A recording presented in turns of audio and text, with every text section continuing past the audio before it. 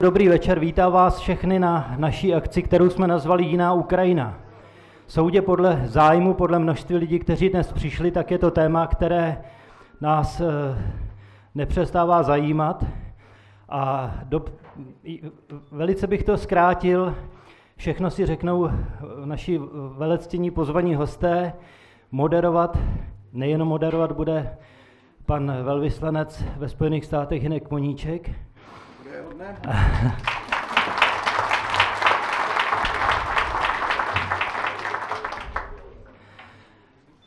A já jenom, abych, abych vás nepřipravoval o drahocený čas, tak bych řekl jednu věc, kterou říkám vždycky při těchto těch našich akcích, že tady dneska neuslyšíte jenom názory, se kterými budete souhlasit, ale to si myslím, že i předpokládáte, protože kdybyste chtěli slyšet jenom jeden názor, tak budete chodit na jiné akce, třeba na ty, které pořádá Respekt nebo které probíhají eh, v Bakalově knihovně. Takže tady uslyšíte věci, které vás možná i lehce nadzvednou ze židle. A předávám teda slovo panu Kmoníčkovi a děkuji za to, že jste přišli. No a já za všechny panelisty děkuji pořadatelům, že nám tohle to umožnili. Možná, že se divíte, proč já jsem tady v roli moderátora, protože jsem zrovna v Praze na dovolené. Eh, a v rámci té dovolené jsem se nechal vylákat na tuto akci a protože jsem věděl, že je potřeba, aby tady hovořili i mnohé další hlasy, tak bych tu rád přivítal našeho bývalého velvyslance na Ukrajině, pana Jaroslava Baštu. Samozřejmě nesmí chybět statný diskutér na všechny otázky a včetně Ukrajiny Stanislav Novotný. A dneska tady máme zvláštní hosty z Ukrajiny. Uh, Jurij, Jurij Dumanský. Jurij Dumanský a které jsme pozvali, abychom měli také ukrajinský pohled, ale jiný než ten, který někdy v Čechách eh, dostáváme. Oni jsou představitelé hnutí, které se říká Inši, čili ti druzí, ta druhá, jiná Ukrajina. Eh, a já jsem moc stál o to, aby je v České republice také někdo zaslechl, protože já, když se potkávám poměrně s hodně oficiálními i neoficiálními ukrajinskými představiteli. A většinou slyším jenom dva různé narrativy, které se vzájemně vylučují, eh, ale slyším málo o normálním životě Ukrajiny, o tom, co si myslí lidé, kteří politiku nedělají, ale jsou její každodenní obětí. A e, ze všech těchto lidí se mě nejvíc líbili představitelé tohoto hnutí, Eh, kteří, kteří se vám tady, eh, protože budou mluvit na závěr, eh, pokusí dokázat svoji myšlenku, že existuje i nějaká jiná Ukrajina, o které jsme dosud nikdy nezaslechli, která není ani jedným nebo druhým směrem, ani východním, ani západním. A jsou to lidé, kteří jsou přesvědčeni, že je třeba Ukrajinu postavit, vybudovat jinak úplně jinak, než tak, jak je dneska sestavená a pokusí se vám samozřejmě i vysvětlit svůj názor na to, že, a ten může být kontroverzní, že volby na Ukrajině nedokáží změnit nic. Eh, my jsme se tady předtím bavili a oni říkali, že volby na Ukrajině je něco jako když máte Trabanta a dáte mu nové brzdy. Výsledek je Trabant s novými brzdami, ale vždycky to bude Trabant. A proto se oni snaží vytvořit něco jiného mimo tuhle tu škatulku a bude na vás, jestli se vám bude zdát, že to dává logiku eh, nebo ne.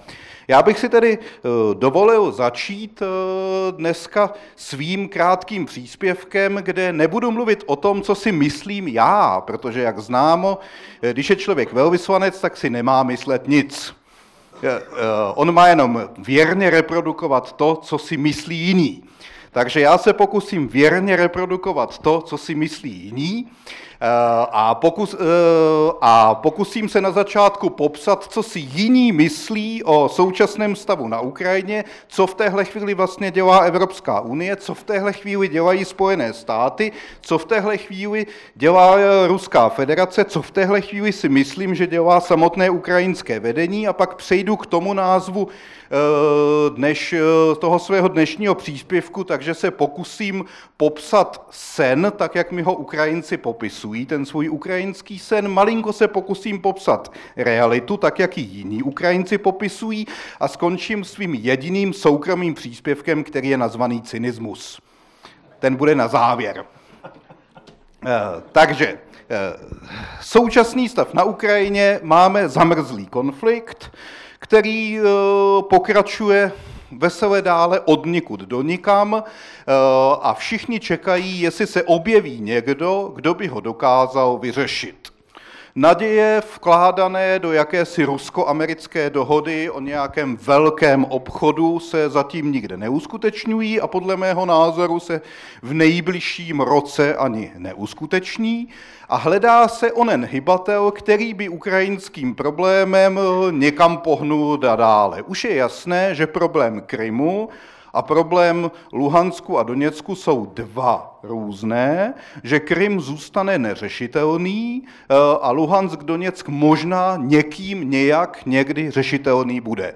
Co v této chvíli dělá Evropská unie a co můžeme čekat, že my, Evropská unie, v této chvíli uděláme pro řešení?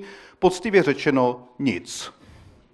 Eh, Evropská unie bude mít zřejmě v příštím roce starostí sama se sebou, protože Evropská unie se v posledních letech víceméně vyvinula eh, do převodního mechanismu prosazeného názoru Spolkové republiky Německo. A názor Spolkové republiky Německo je, že nevědí, jestli budou mít vládu, jakou budou mít vládu, jestli budou mít nové volby a do té doby, než si toto vyřeší, nemohou mít názor na vůbec nic jiného. Výsledkem tedy bude de facto paralizace, paralizace spousty procesů v Evropě, které, vyjadř, které potřebují nějaké jasné vedení eh, a nějaký logický záměr, který je eh, bekovaný eh, nějakou ekonomickou realitou. To v téhle chvíli dokáže v Evropské unii prosazovat opravdu jenom Německo. Německo bude dočasně ze hry, výsledkem bude to, že žádná hra nebude. Eh, co v téhle chvíli budou dělat Spojené státy? Eh, Spojené státy eh, v této chvíli směrem k ukrajinskému problému v zásadě představuje zvláštní představitel Kurt, Kurt Volker, Kurt Walker, podle toho, jak si tohoto pensylvánského Němce vyslovíme.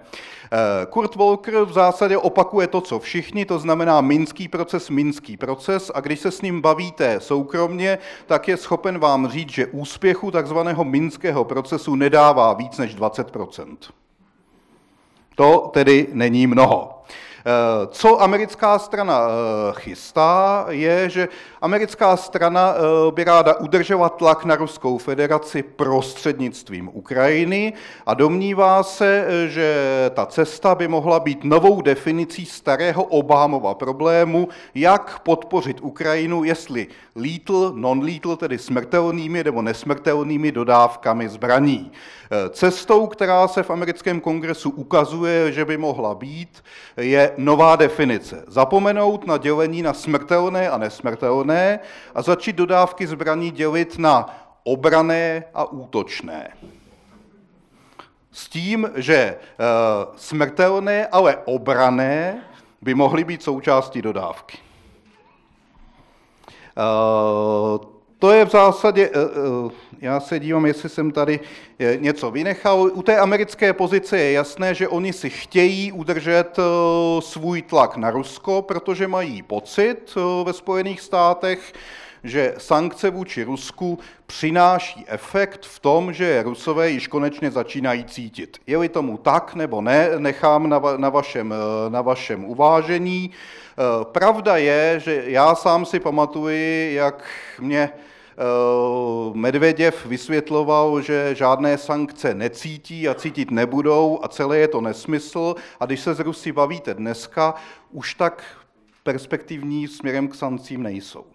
Přece jenom jim začíná vadit, že je to jako odnikud do nikam, že, že se to táhne dlouho, že to vypadá neřešitelně a ukazuje, a ukazuje se jedna věc, a to už přecházíme k tomu, co dělá Ruská federace, eh, že eh, mnozí tvrdí, že Ruská federace začíná cítit ekonomickou tíhu udržování tohoto konfliktu v provozu.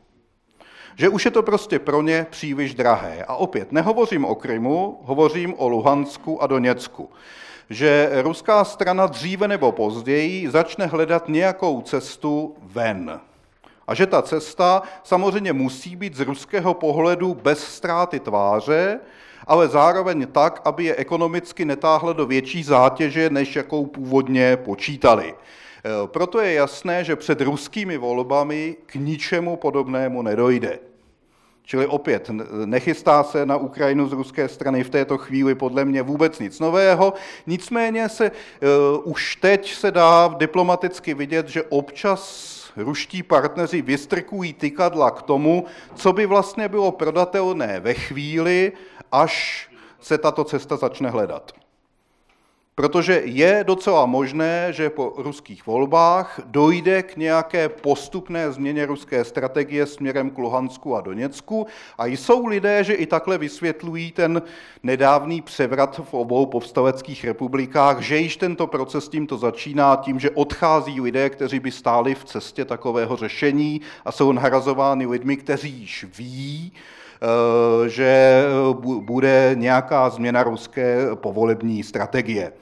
Eh, co v této chvíli dělá Ukrajina, to z části nechám eh, tady na našich ukrajinských hostech. Eh, co se týče té oficiální Ukrajiny, tak, tak jak hovořím se svými ukrajinskými kolegy, oni v zásadě říkají, že prezidentu Porošenkovi, kterému hrozily předčasné volby a možná i jakýsi náběh k impeachmentu, se toto podařilo v této chvíli odstranit. Nicméně, eh, že je nadále oslaben tím, co dělá. A teď je kritizován eh, v podstatě svými vlastními nacionalisty za to, že vlastně komunikuje s Ruskou federací. On sám a jeho lidé to vysvětlují tím, že komunikovat musí, protože mají udržet teritoriální integritu Ukrajiny, tak to znamená například i v těch postoveckých republikách dodávat energie, dodávat teplo a ty lidi platit. V zásadě to je úplně ten samý princip, jako když Bashar al-Assad v Sýrii normálně posílal výplaty do islámské Raky, aby ukázal, že je součástí Sýrie a v celou dobu mimochodem jezdili autobusy z Damašku do Raky. I když se to v Čechách nikdy neřeklo. To se normálně dalo koupit v Damašku na autobusovém nádraží. A lidi si zpět z Raky do Damašku jezdili vybírat penze protože u islámu eh, to bylo mimochodem v Race ilegální. Čili eh, nějaký takový podobný trafik vlastně funguje i mezi těmi povstaleckými územími a vlastním územím Ukrajiny. Porošenkovi se často vytýká, že eh, jedna parta mu vytýká, že je vlastně neustále s nimi v kontaktu kvůli výměně zajatců a že vlastně s těmi územími nadále komunikuje místo, aby je dobýval. E, druhá parta e, mu dokonce i vyčítá, že je takhle vlastně v příliš častém kontaktu s Ruskou federací a že vlastně e, tím způsobem si udržuje kontrolu nad konfliktem, který by mu jakoby měl vyhovovat k tomu, aby mu zůstala jeho mocenská základna. Opět je to, na, je to na vašem uvážení, jak si myslíte, že to opravdy. E, Čili eh, nacionalisté ho mají Porošenka za Rusa a Rusové ho zase mají za nacionalistu eh, a mezi tím běhají Ukrajinci, kteří ho mají za oligarchu. Když přejdeme k tomu, jaký je tedy vlastně ukrajinský sen, tak to už se dostáváme k těm dvěma českým narrativům, které často tady vidíme. Jeden sen o Ukrajině je, že Ukrajina jako každý jiný stát na světě má právo si vybrat, kdo chce být a kým chce být a žádná jiná země by jim do toho neměla mluvit, což znamená jejich evropsko-unijní eh, a NATO aspirace. Eh, při nedávné kontrole sama ukrajinská strana uznala, že v této chvíli směrem k asoci- možné asociaci do Evropské unie plní zhruba 15% požadavků. Čili nula. Co se týče do severo, eh, jejich možného vstupu do eh, Severoatlantické aliance, o tom v této chvíli, myslím, nikdo není ochoten skutečně vážně uvažovat. Zároveň pokud to budete vysvětlovat v Kijevě, tak jim to nevysvětlíte, protože oni řeknou, že žádnou jinou, eh, jinou šanci nevidí. Problém ukrajinského snu je, že těch snů je několik, protože těch Ukrajin je několik. A každá Ukrajina má jiný sen. A víte, jak se říká člověku, kterému se současně zdá několik snů v noci? Ne po sobě, současně. To je samozřejmě čistý schizofrenik. Eh, a to jako bohužel jako vidím na Ukrajině, protože všichni oficiální i neoficiální představitelé přichází se svým snem, ale ten sen není položen na ničem reálném a hlavně sen není plán. Kdyby existoval jeden jasný ukrajinský sen za celou Ukrajinu, tak by se pravděpodobně dal na západě prodat. Ale protože těch snů je několik, tak to nevypadá jako plán, ale jako choroba.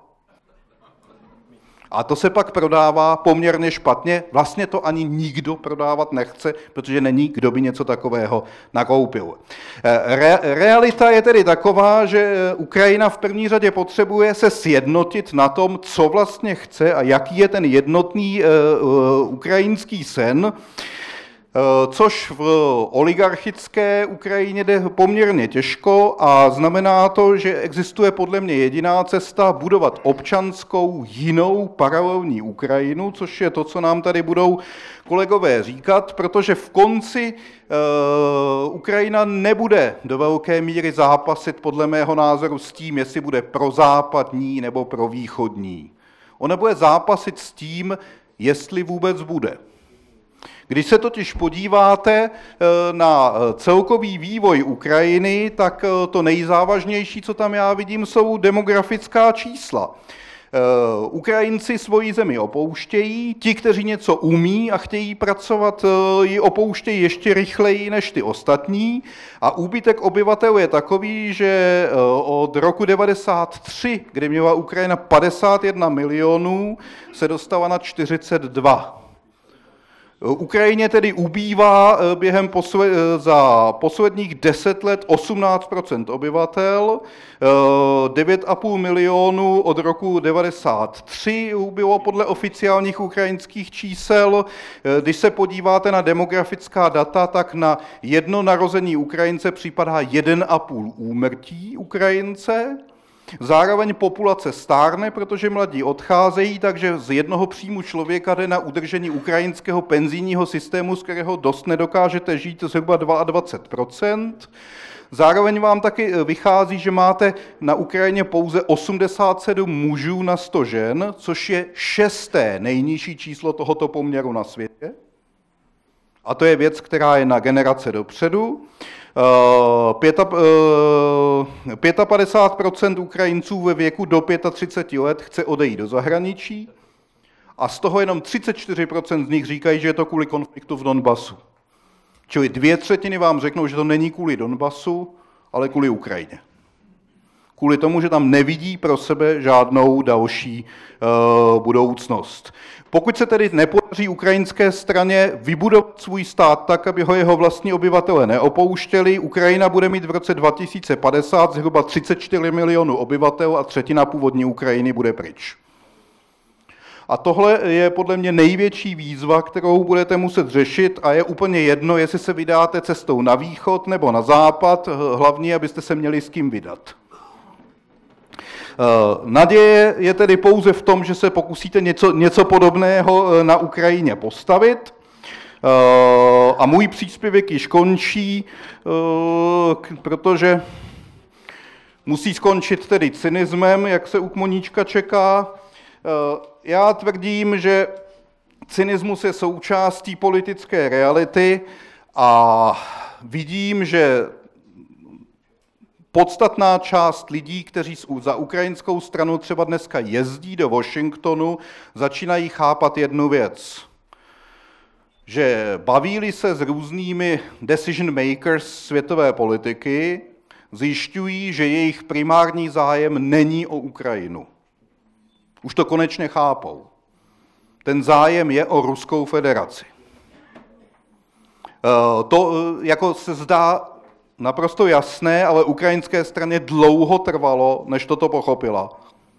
Že nedojede do Washingtonu a tam nedostane něco za to, že je Ukrajinec, ale že primární zájem Spojených států bude vždycky ve strategickém eh, soupeření s Ruskou federací a že to do velké míry bude samozřejmě o zdrojích a tam se eh, přesně ukazují ty dvě možnosti do budoucna. Z jedné strany eh, Ukrajina ví, že ve chvíli, kdy se opravdu naplno rozjedou obě linky Nord Streamu, tak eh, jí přestává ona výhoda, že 30 veškeré, veškerého plynu pro Evropu jde přes ukrajinské území. Tenhle ten eh, poměr se začne snižovat a tím začne klesat zajímavost Ukrajiny a budou mít ještě horší karty k tomu, aby něco uhráli, ať už ve Washingtonu nebo v Moskvě. Eh, druhá eh, protitahem Spojených států je, že eh, v roce 2013 poprvé dosáhli toho, že vyváží více plynu než Ruská federace, Spojené státy, a tím, jak se ho vlastně pokouší dostat kapalným plynem do Evropy sever-jih, princip tři, iniciativa tří moří a další věci, tak se američané vlastně snaží vyřadit tuhletu strategickou ruskou výhodu. Vedlejší obětí vyřazení ruské strategické výhody bude pokles zájmu o Ukrajinu. Ve chvíli, kdy se, kdy se lidi přestanou zajímat o Ukrajinu, protože už se nebudou tolik zajímat eh, o převod ruských surovin a Ukrajina bude ve stavu, eh, kdy bude trabantem s několikrát vyměněnými brzdami, který opustili, eh, který opustili obyvatelé, kteří chtějí jezdit rychleji než 60 km za hodinu, tak jste ve smrtelné smyčce. Čili ten čas se pro Ukrajinu krátí a to je jedním z důvodů optimismu, protože než toto všechno nastane, tak proběhnou ty ruské volby a možná, že nastane čas na řešení Doněcku a Luhansku ve spolupráci s ruskou stranou. Takže tady já končím a předávám Jardovi Baštovi.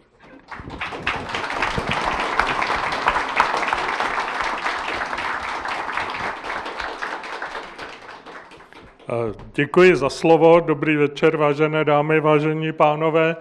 Já bych trošku navázal na ten cynický tón Hinka Kmoníčka. Já dlouhá léta tvrdím, že bychom si Ukrajiny měli velmi bedlivě všímat, protože vidíme, jak to u nás může vypadat za deset let. A e, ono, jenom takový krátký příklad. V roce 2007, když byly volby do ukrajinského parlamentu, tak se tam poprvé ve velkém objevili oligarchové. Prakticky všichni. Protože pochopili, že e, mít jenom majetek nestačí, že je třeba mít taky politickou moc. A to, co následovalo potom, vidíme teď velice dobře.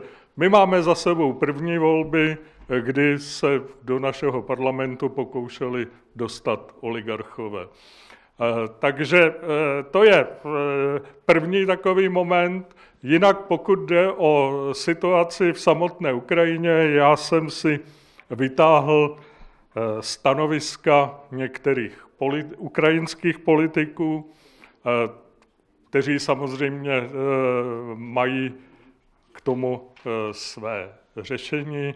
Například v létě Julia Timošenková prohlásila, že, rozpad, že v Ukrajině hrozí rozpad v roce 2019, a to v důsledku velice asociálních důchodových a e, zdravotnických reform, které v zemi momentálně proběhly, které prostě dostávají e, většinu obyvatel na hranici bídy.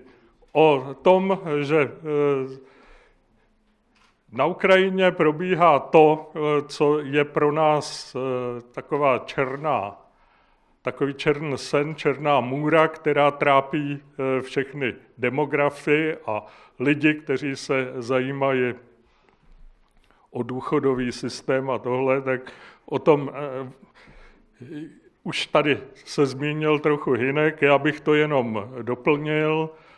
Ono, ten pokles o těch 9,5 milionů obyvatel, který proběhl, není konečný. Ono to dostalo velice silný impuls právě po tom vypuknutí války na východě Ukrajiny, takže ty, podle těch statistik, které tentokrát nevycházejí eh, z toho, eh, eh, co tvrdí ukrajinský statistický úřad, ale které si všímají například spotřeby energie a spotřeby obilovin a dávají dohromady údaje, které jsou z jiných zemí Eh, tak eh, momentálně by ten počet obyvatel, kteří jsou na Ukrajině, se pohyboval někde kolem 35, 36 milionů.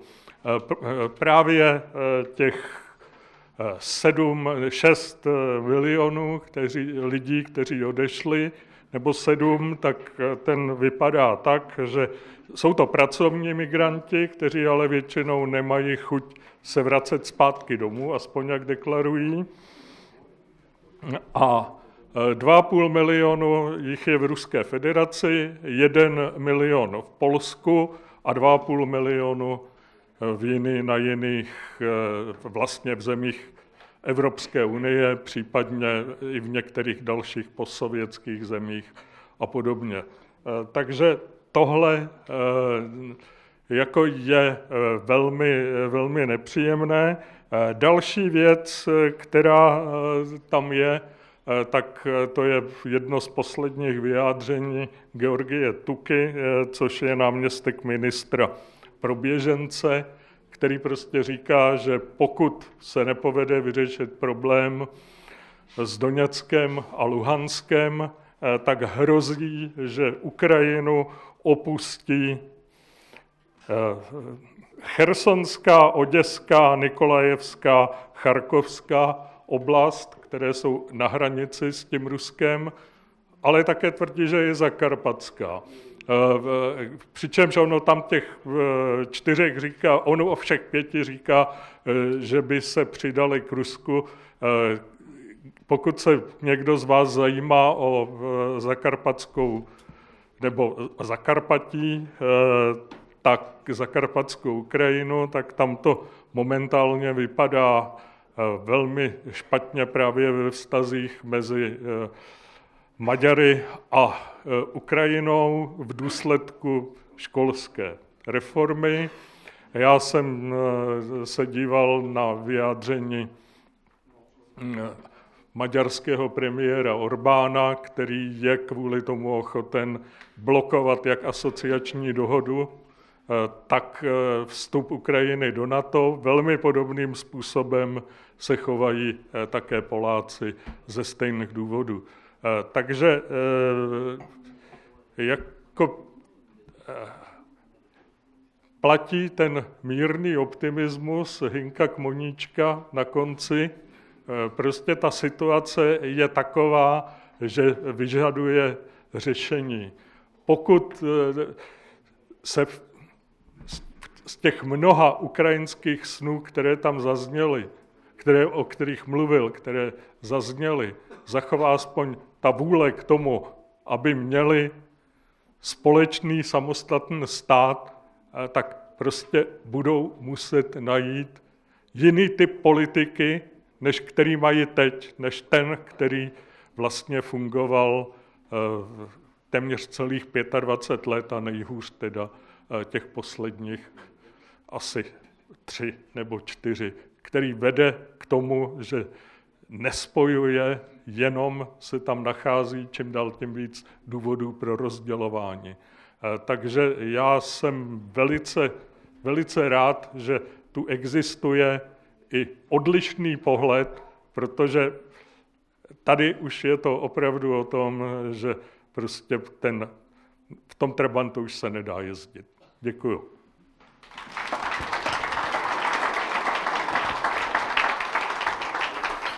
Ono, já jsem býval původně hudebník a nás učili v umění fugy Johana Sebastiana Bacha, že disharmonie je tím tvrdší, čím více se blíží harmonii. A, a v diplomacii se to projevuje tím, že mají lidi udělat obtížná rozhodnutí, musíte je do situace, že už jim nic jiného nezbyde. Oni nejdřív udělají všechny hlouposti, které mohou, a teprve v konci udělají to jedno jediné řešení, protože už jim žádné nezbyde. A já se tedy s Jardou Baštou shoduji, že Ukrajina se blíží k hranici, kdy prostě bude muset Trabanta zahodit, a říct si, jestli, nezač, jestli nezačít štr, jako čtyři roky jezdit na kole, protože si koupí něco úplně jiného, eh, co bude odpovídat 21. století, a nebo se dostane do situace, že už to bude nenapravitelné. A mimochodem to je to, proč se o to vůbec zajímá Česká republika, a to já všem na Ukrajině říkám. My jsme si třeba vždycky mysleli, že po rozdělení Československa u nás bude vždycky největší národnostní menšinou slovenská. Poprvé v historii tomu tak není, je to ukrajinská. V této chvíli máme přes 140 tisíc Ukrajinců a to ještě uh, hovoříme jenom o těch legálních a hovoříme v zásadě jenom o těch, co přestali jezdit domů, aby se nedostali do armády. Uh, čili pokud hovoříme o tom, že u nás de facto nejsou běženci, nejsou, jsou Ukrajinci, my jim neříkáme běženci ale v této chvíli jsou již Ukrajinci nejčastější národností po české národnosti v České republice, čili my na to máme životní zájem, aby se Trabant vyměnil za něco, co jim umožní žít doma.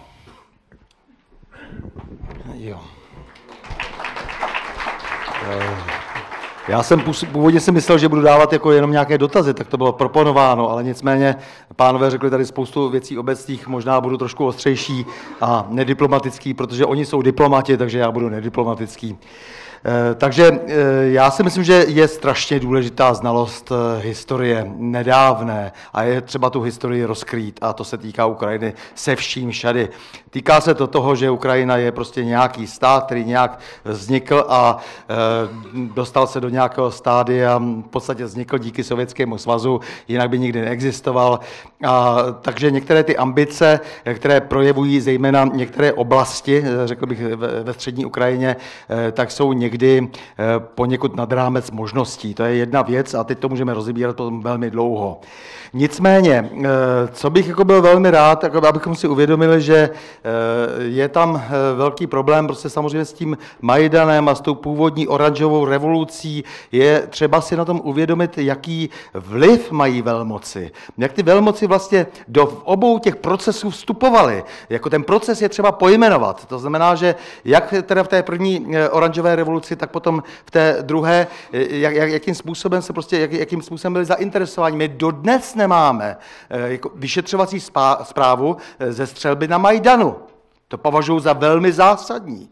Považuji za velmi zásadní to, že tady unikly nějaké odposlechy a bylo z těch odposlechů jasné, že se něco dělo, něco kamuflovalo. Byla tam paní Nulandová, jak náměstkyně ministra zahraničí tehdy a, a tak dále a tvářila se, že se vlastně nic neděje, ale měla za úkol vlastně tady něco tady bačovat prostě na té východní Evropě, že jo? ale nicméně nikdo nikdy nebyl schopen se posunout dál, přestože víme, že eh, v té, v té vládě, v těch vládách eh, fungují velmi dobře v eh, podstatě američtí lidé. Eh, vůbec, eh, tedy musím říct, jako jenom taková malá odbočka. To, že jsou cizí státní příslušníci v nějaké národní vládě, mě vždy velmi iritovalo. To mě vždy velmi vadilo, protože jde o nějakou lojalitu vůči státu. Jestliže ta Ukrajina není schopna eh, se domluvit na tom, že musí mít lidi, kteří jsou loajální vůči státu, že tam bude mít spoustu cizích státních příslušníků, kteří vlastně vůbec neodpovídají eh, za to, co vlastně dělají eh, vůči své vlastní zemi nebo vůči zemi, vůči které to dělají, to je docela skandální. To musíte uznat, že my jsme tady také měli cizího státního příslušníka ve vládě, už tam není, ale je to je taková formální věc, která není dobrá. Eh, když se jako porušuje. To je přece snad každému jasné. Eh, ale to je jenom drobnost, to je jenom maličkost. Eh, v tom všem, co se děje. Události v Oděse, No to je přece něco, kde se vlastně štípe téměř jako celý ten proces, jako kde, kde je vlastně jasné, že, že ta manipulace dosahuje prostě jako neuvěřitelných obrátek. To je něco, co se musí zjistit, co se musí nějakým způsobem potvrdit, je to tak nebo tak. Jestliže z kuláru schůzek vyšehrádských prostě e, uniknou informace o tom, že vlastně se už uvažuje o dělení Ukrajiny, jak to tady páni předřečníci e, říkali, že to tady hrozí, jestliže se uvažuje o tom, nebo se dokonce navádá Česká republika, aby si no, o něco řekla, no o co by si asi tak mohla říct, to je, ono je to docela směšné. Jestliže e, Maďarsko říká, no my bychom tu podkarpatskou Rus, to je přece jasné, jako, nebo Zakarpatí, jak říkají Ukrajinci, jo, a Poláci říkají, no a ve Varšavě dnes velmi intenzivně diskutují o tom, kam až by teda to Polsko znovu mohlo být. No, to je přece něco, co je strašlivě nebezpečné, protože pak řeknou Němci, my máme taky nárok na nějaké Polsko a tak dále.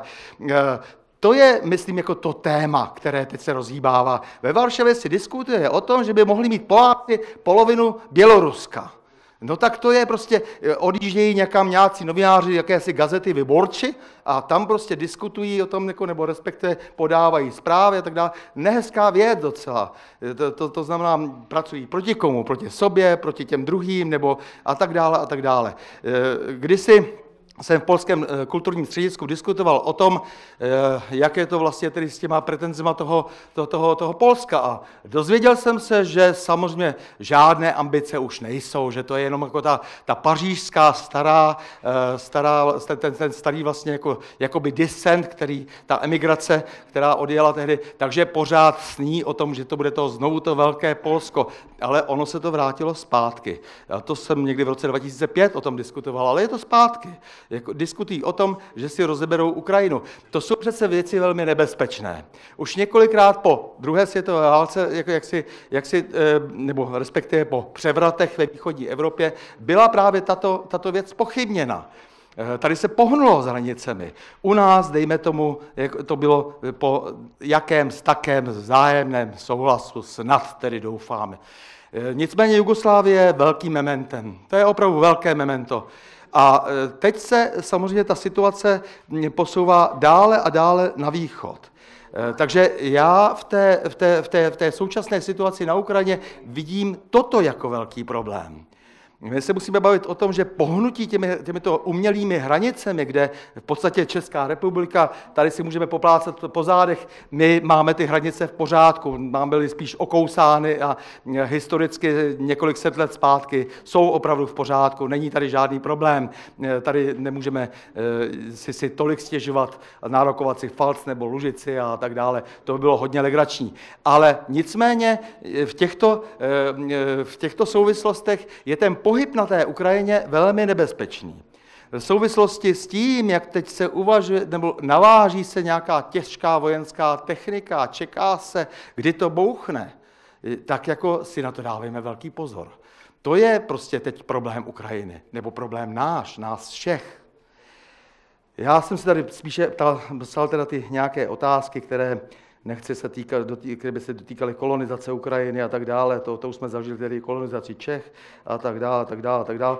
To tady zmiňovat teď nebudu ale v každém případě eh, se nás ten problém velmi týká. Já mám Ukrajince velmi rád, mám k něm velmi dobrý vztah a když jsme, když jsme se bavili v roce 2013 na Majdanu o tom, eh, že eh, se trošku ta situace podobá všem těm ostatním barevným revolucím, že už je to téměř nudné a hloupé, jak se opakuje ten scéný, stejný scénář jako v městě Dra na, hranicích Jordánská, Sýrie, kde jako jsou nějací ostřelovači a tak dále. Já jim říkám, budete po sobě střílet. To bylo v době ještě, kdy ti Ukrajinci, eh, eh, tam byli vlastně zapáleni, eh, kdy tam byli ty studenti, kdy opravdu bojovali proti tomu Janukovičovu, Janukovičovu skorumpovanému systému a právem samozřejmě a, a tak dále. A najednou byli vyměněni. Najednou byli vyměněni, najednou, došlo k nějakému zásahu a co si se změnilo.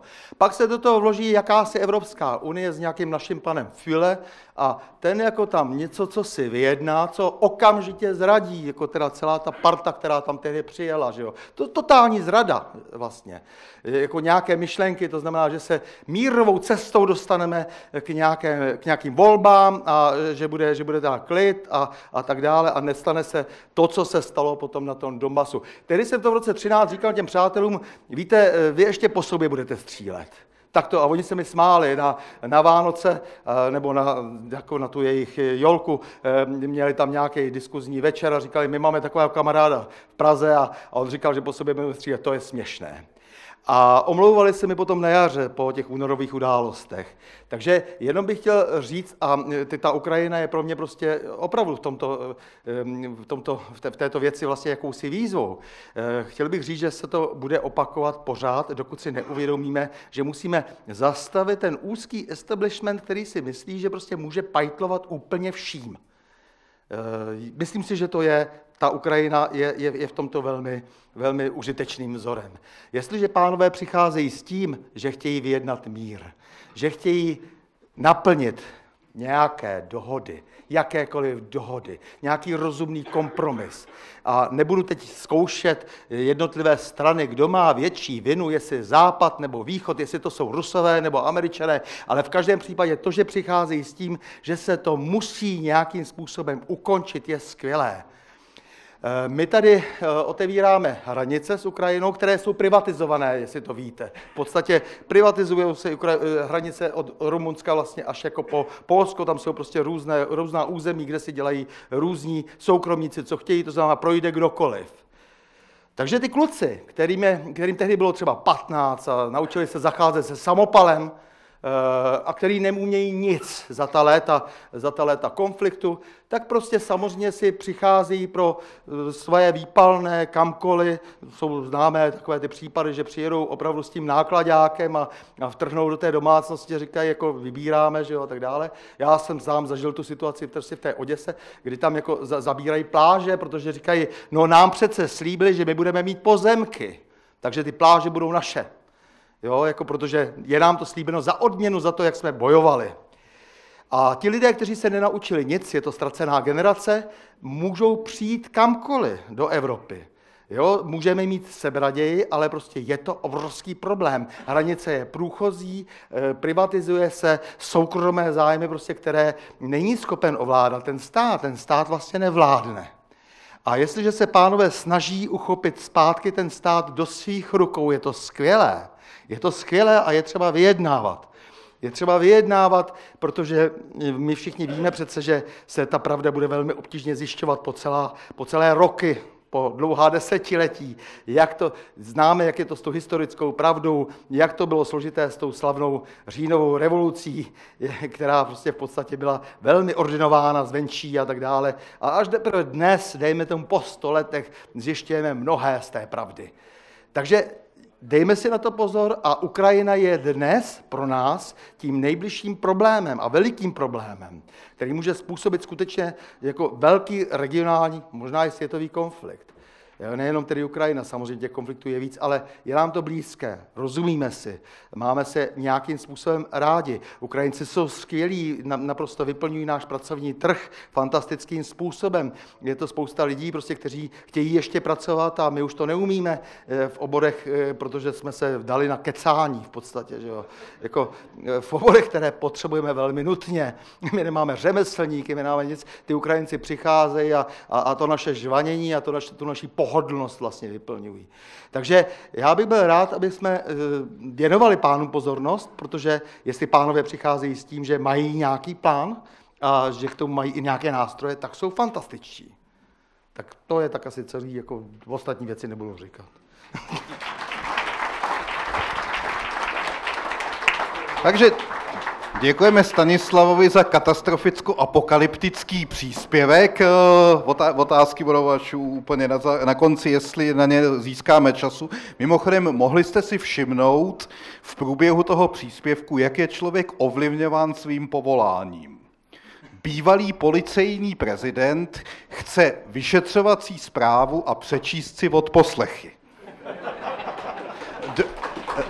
Dva diplomaté se u toho chápavě usmívají. Takže eh, teď bych eh, rád pozval naše, naše ukrajinské hosty. Předem říkám, že i když se jmenují jako televizní pořad Sákašviliho, nemají s ním nic společného. Nejsou od něj, eh, znají většinu ukrajinských oligarchů, Nikteré, pokud jsem tak pochopil, nikoho z nich nemají rádi A o každém z nich vám řeknou alespoň dvě neuvěřitelné historky.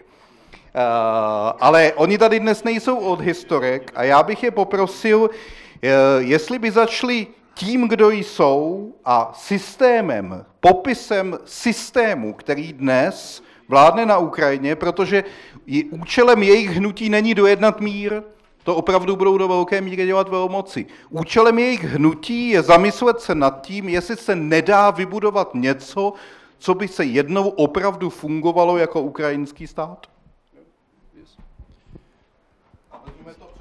Всем добрый вечер. Добрый вечер. Я э, благодарен, во-первых, своим коллегам, своим друзьям и всем присутствующим в зале за такой вызванный интерес к проблеме, которая есть в Украине. Děkuji mým kamarádům a všem, kdo, kdo je dneska v sále, za ten zájem, za ten zájem k tomuto tématu o Ukrajině. Украина э, государство очень большое. Ukrajina je velmi je velký stát. Как территории, так и население. A to jak rozlohou, tak obyvatelstvo. С, с распадом Советского Союза Украина была, экономика Украины была самой высокой в Европе, на уровне Германии. Po rozpadu Sovětského svazu ekonomika Ukrajiny byla v podstatě největší v, pro celý ten Sovětský svaz na, na úrovni Německa. Бюджет выше Германии, Украины. Rozpočet byl než v Německu. Население было больше 52 миллионов, об этом говорили. Obyvatelstvo bylo víc než 52 milionů, o, čem, o čem už dneska byla řeč. Я патриот своего государства, я украинец. Jsem patriotem své země a vlastencem a já jsem Ukrajinec. Я переживаю все то, что происходит сейчас в Украине. Hodně prožívám to, co dneska se odehrává na Ukrajině. Я непосредственно принимал участие в боевых действиях на территории Донецкой и Луганской области. Já jsem se bezprostředně zúčastňoval těch bojových střetů na východě Ukrajiny. Я генерал, я офицер, я имею честь, я знаю, что родину нужно защищать, когда ей, ей тяжело. Jsem generál, jsem důstojník, mám svou čest a vím, že důstojník má bránit svou vlast ve chvíli, když ta vlast je v těžké situaci. Но я вижу, что у нас есть враг не только внешний, но есть еще и внутренний враг. Ale vidím, že Ukrajina má nejenom vnější, vnějšího nepřítele, ale i nepřítele vnitřního. Здесь говорили об истории, историю нужно изучать. Вы знаете, мы ее изучаем. Историю и делаем определенные Dneska, dneska tady už se mluvilo o tom, že nakolik je důležitá, důležité jsou ty dějiny a nakolik je důležité je studovat. A my to děláme a hlavně děláme nějaké závěry z té, z té historie, z těch dějin. Определенный анализ, который показывает, что Украина через это уже проходила. Existuje, existují prostě analýzy, rozbory toho, že uh, ta, situace, do které se dneska dostala Ukrajina, už jsme to v, v minulosti měli, uh, už jsme to procházeli tímhletím. Почему? Почему проходила и снова становится на тот же путь? Proč k tomu dochází? Proč v podstatě Ukrajina opakuje tu cestu jakoby dokola? Нет тех политических сил, нет той элиты, которая бы самостоятельно стратегировала и управляла государством. Není, není ta politická síla, není ta elita, která by byla schopná řídit ten stát. А та политическая сила, которая на протяжении 27 лет приходила к власти и объединилась и с олигархами, она завела государство в тупик. A ta politická síla, která vládla Ukrajině těch 27 let a spřátelila se s oligarchy, tak ona nakonec dovedla Ukrajinu do té slepé uličky. Систему в Украине нужно менять на новые принципы, на новые взаимоотношения как населения, так и на уровне всех политических партий и административных управленческих действиях. Ten systém na Ukrajině musí být změněn a to nejenom na té státní úrovni, na úrovni státní zprávy, ale i na úrovni vzájemných vztahů lidí a společnosti. Конечно, мы за демократический путь, за путь выборов и приходу к власти демократическим путем. Samozřejmě, že jsme zastanci demokratického řízení, za- jsme pro, pro to, aby eh, na základě demokratických voleb eh, do, k moci se dostávali ty, eh, ty, kdo ty volby vyhraje. Тот Майдан, который был в 13 2013 году, мы видим, что он был, с- он был сакральным. Сакральность в том, что там погибли люди. Ten Majdan, který jsme měli v, v roce 2013 až 2014, tak eh, teď chápeme, že to byla taková sakrální událost, protože tam došlo k mm, tomu, že eh, byli zavražděni lidé. И те, кто обещали экономический рост, и те, кто обещали политическую стабильность, и те, кто обещали благополучие, они всего этого не достигли. A ty, kdo nám sliboval eh, politickou stabilitu, ekonomický růst a blahobyt, tak eh, ničeho, ni- nic z toho, co oni nám slibovali, nebylo zrealizováno. Но мы утратили свои территории, аннексия Крыма.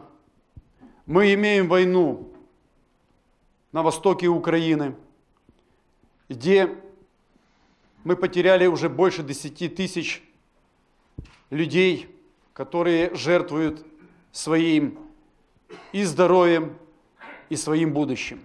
Ale máme, máme teď válku, máme anexi eh, Krymu, máme mm, válečné události na východě Ukrajiny, kde, kde jsme ztratili už více než 10 tisíc eh, eh, svých eh, eh, obyvatel, eh, oni tam přišli o život a pořád tam dochází k eh, mm, smrti naši, našich, eh, našich obránců.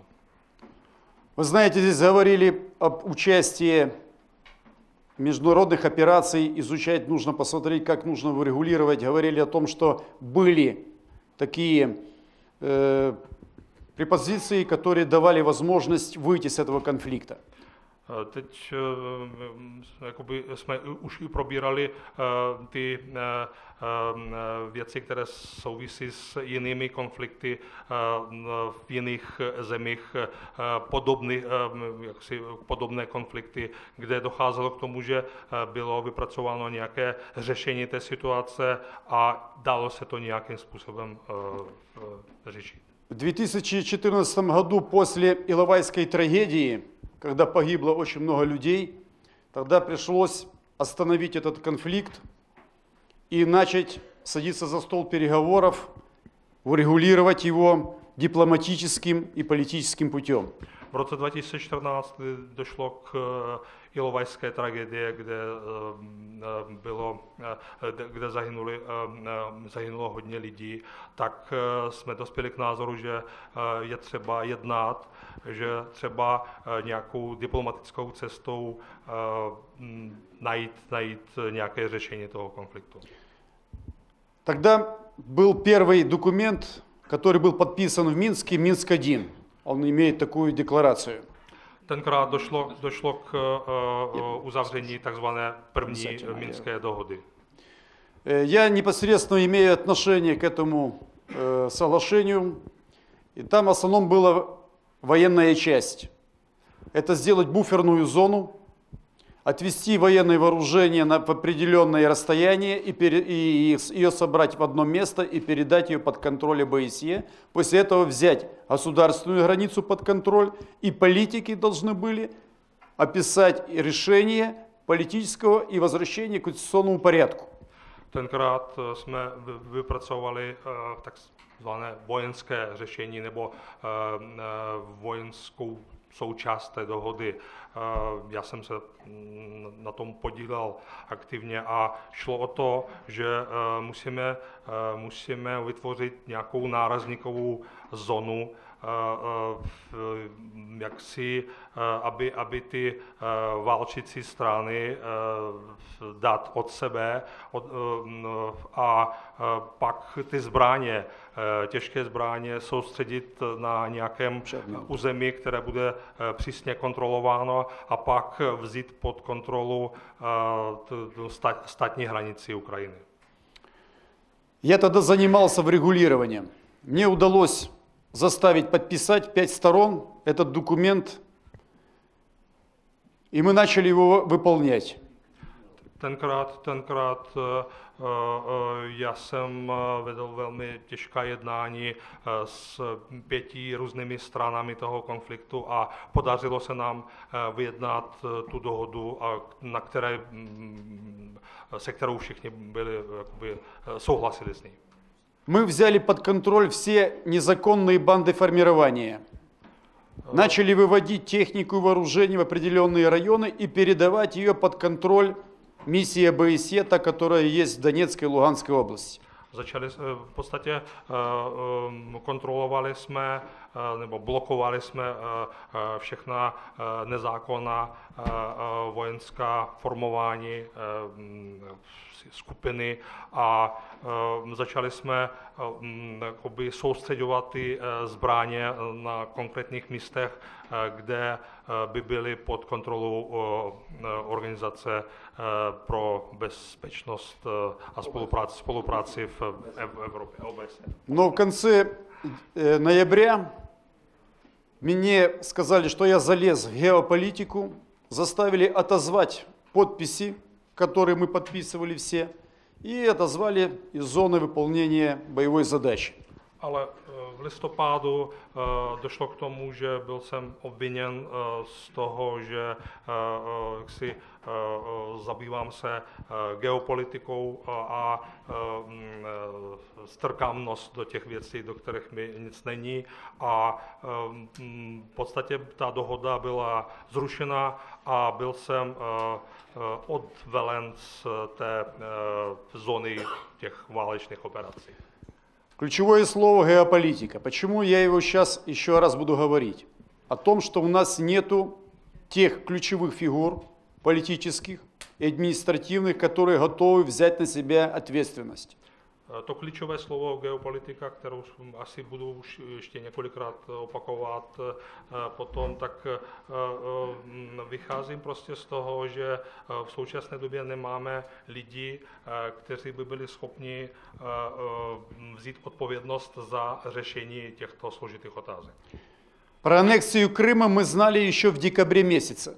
И Генеральный штаб Вооруженных сил Украины планировал операцию защиты территории Крыма за 4 месяца до аннексии. O, o tom, že se připravuje anexe Krymu, věděli jsme ještě v prosinci 2013, roku 2013. Takže čtyři měsíce předtím, než k tomu došlo, jsme jako generální štáb plánovali jsme nějaké operace, které by tomu zabránily, nebo měly by tomu zabránit. И когда исполняющим обязанности президенту Турчинову говорили о том, что ты только дай команду, чтобы ввести определенные планы к действию, все готово к защите. Он говорил о том, что мне западные партнеры не рекомендуют делать резких движений.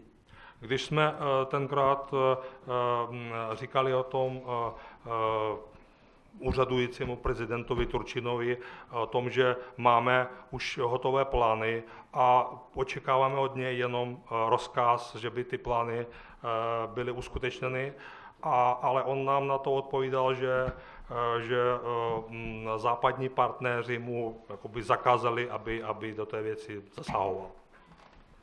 Мы понимаем снова и возвращаемся к тому же слову. Да? Если готовность руководителей государства, политических лидеров стоять на защите интересов своего государства.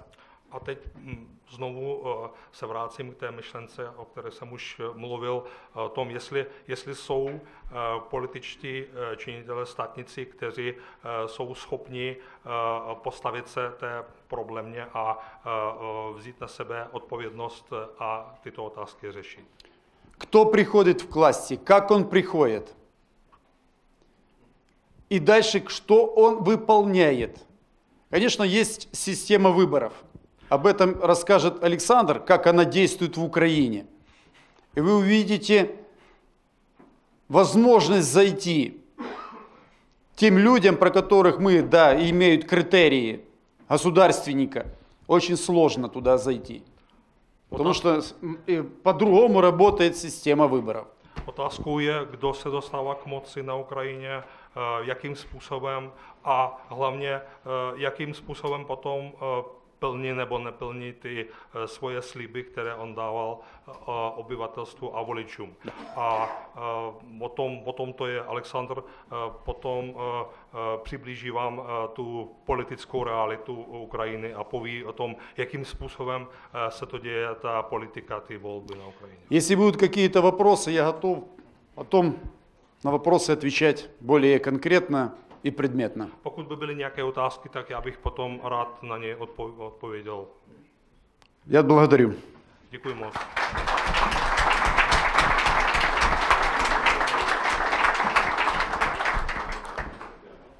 Э, Добрый вечер.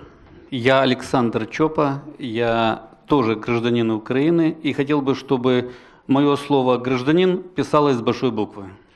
Dobrý večer, já se jmenuji Aleksandr Čopa, já jsem občanem Ukrajiny a chtěl bych, aby eh, to slovo eh, občan eh, bylo by s velkým písmenem. И до Майдана я работал антикризисным и старт-менеджером в строительной индустрии. Я обладаю знанием в макро- и в микроэкономике. Э, В прошлом я капитан запаса пограничных войск Советского Союза.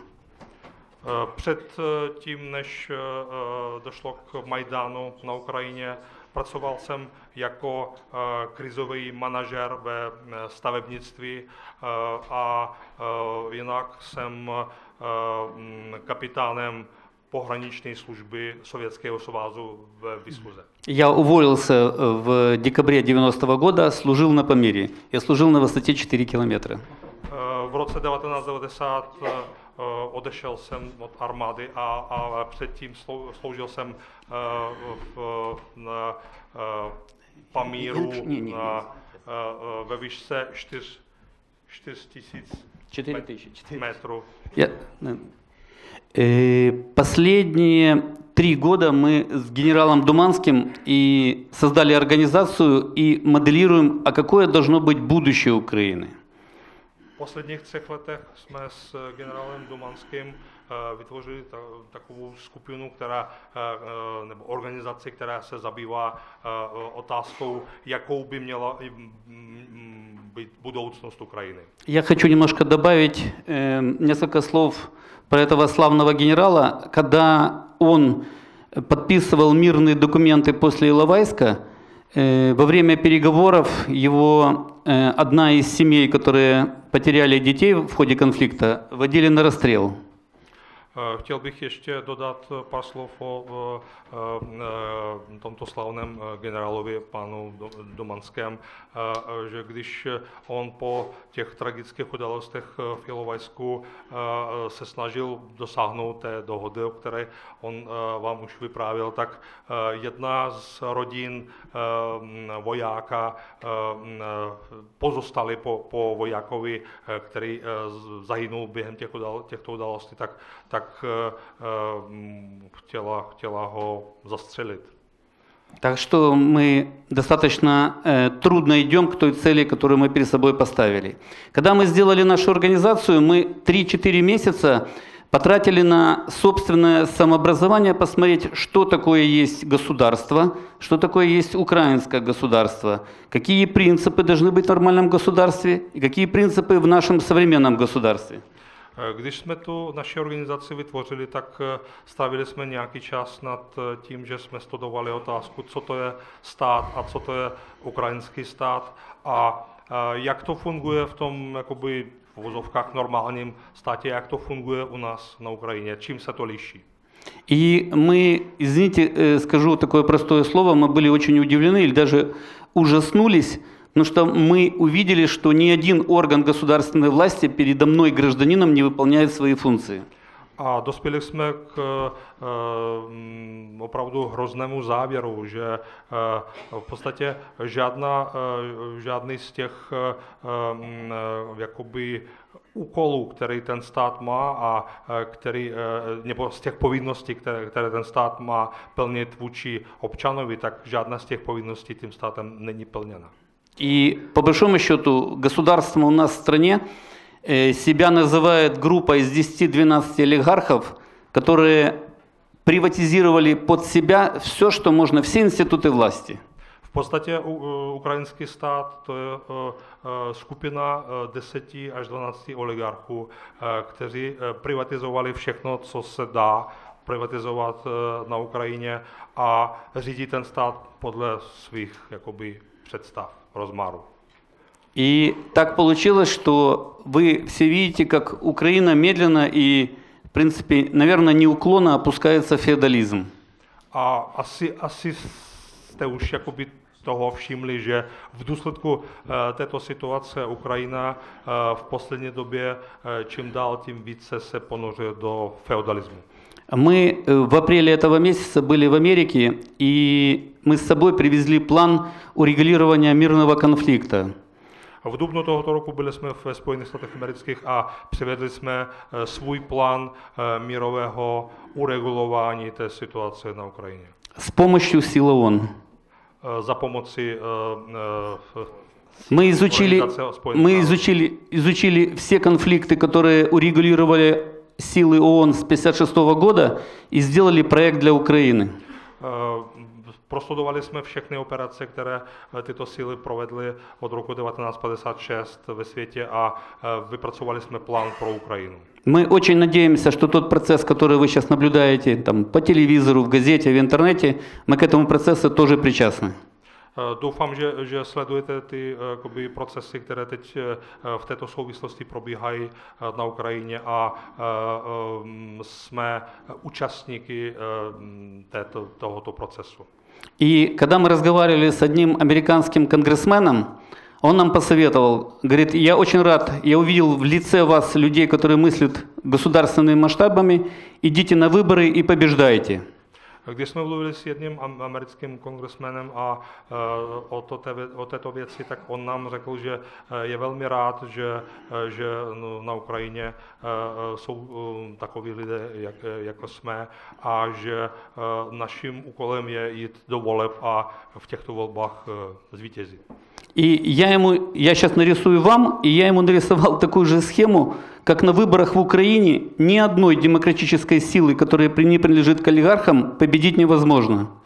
Jsem tomu eh, pánovi vysvětlil eh, m, tenkrát, že eh, v- za této situace na Ukrajině, za této jaksi vlády oligarchů, eh, žádná eh, síla, která není eh, s těmi oligarchy spojená, eh, nemá žádnou šanci eh, v těchto volbách zvítězit. У нас власть превратилась в матрицу, и матрица придумала все механизмы обороны от меня, гражданина, или от какой-то новой политической партии. V podstatě státní moc na Ukrajině je to te- ten Matrix, jako v tom filmu, a je to systém obrany před eh, voličem, před Ukrajincem. Матрица. Олигархи. Je to ten Matrix oligarchové. Они придумали целый эшелон защиты от меня, гражданина, или от новой партии. Vymysleli si, eh, si systém obrany před eh, námi jako voliči. Министерство юстиции Je to ministerstvo eh, spravedlnosti. юстиц, выполняет все команды матрицы. Toto ministerstvo plní všechny úkoly eh, tohoto Matrixu. Второй эшелон обороны. Масс, масс-медиа, газеты, журналы, телевидение. Дальше зона обороны – это э, медиа, медиа. Пять человек владеют 95% масс-медии.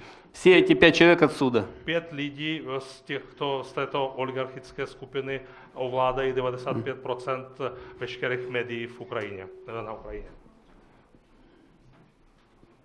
Tретий эшелон обороны от меня, гражданина. Это- Избирательные комиссии. komise.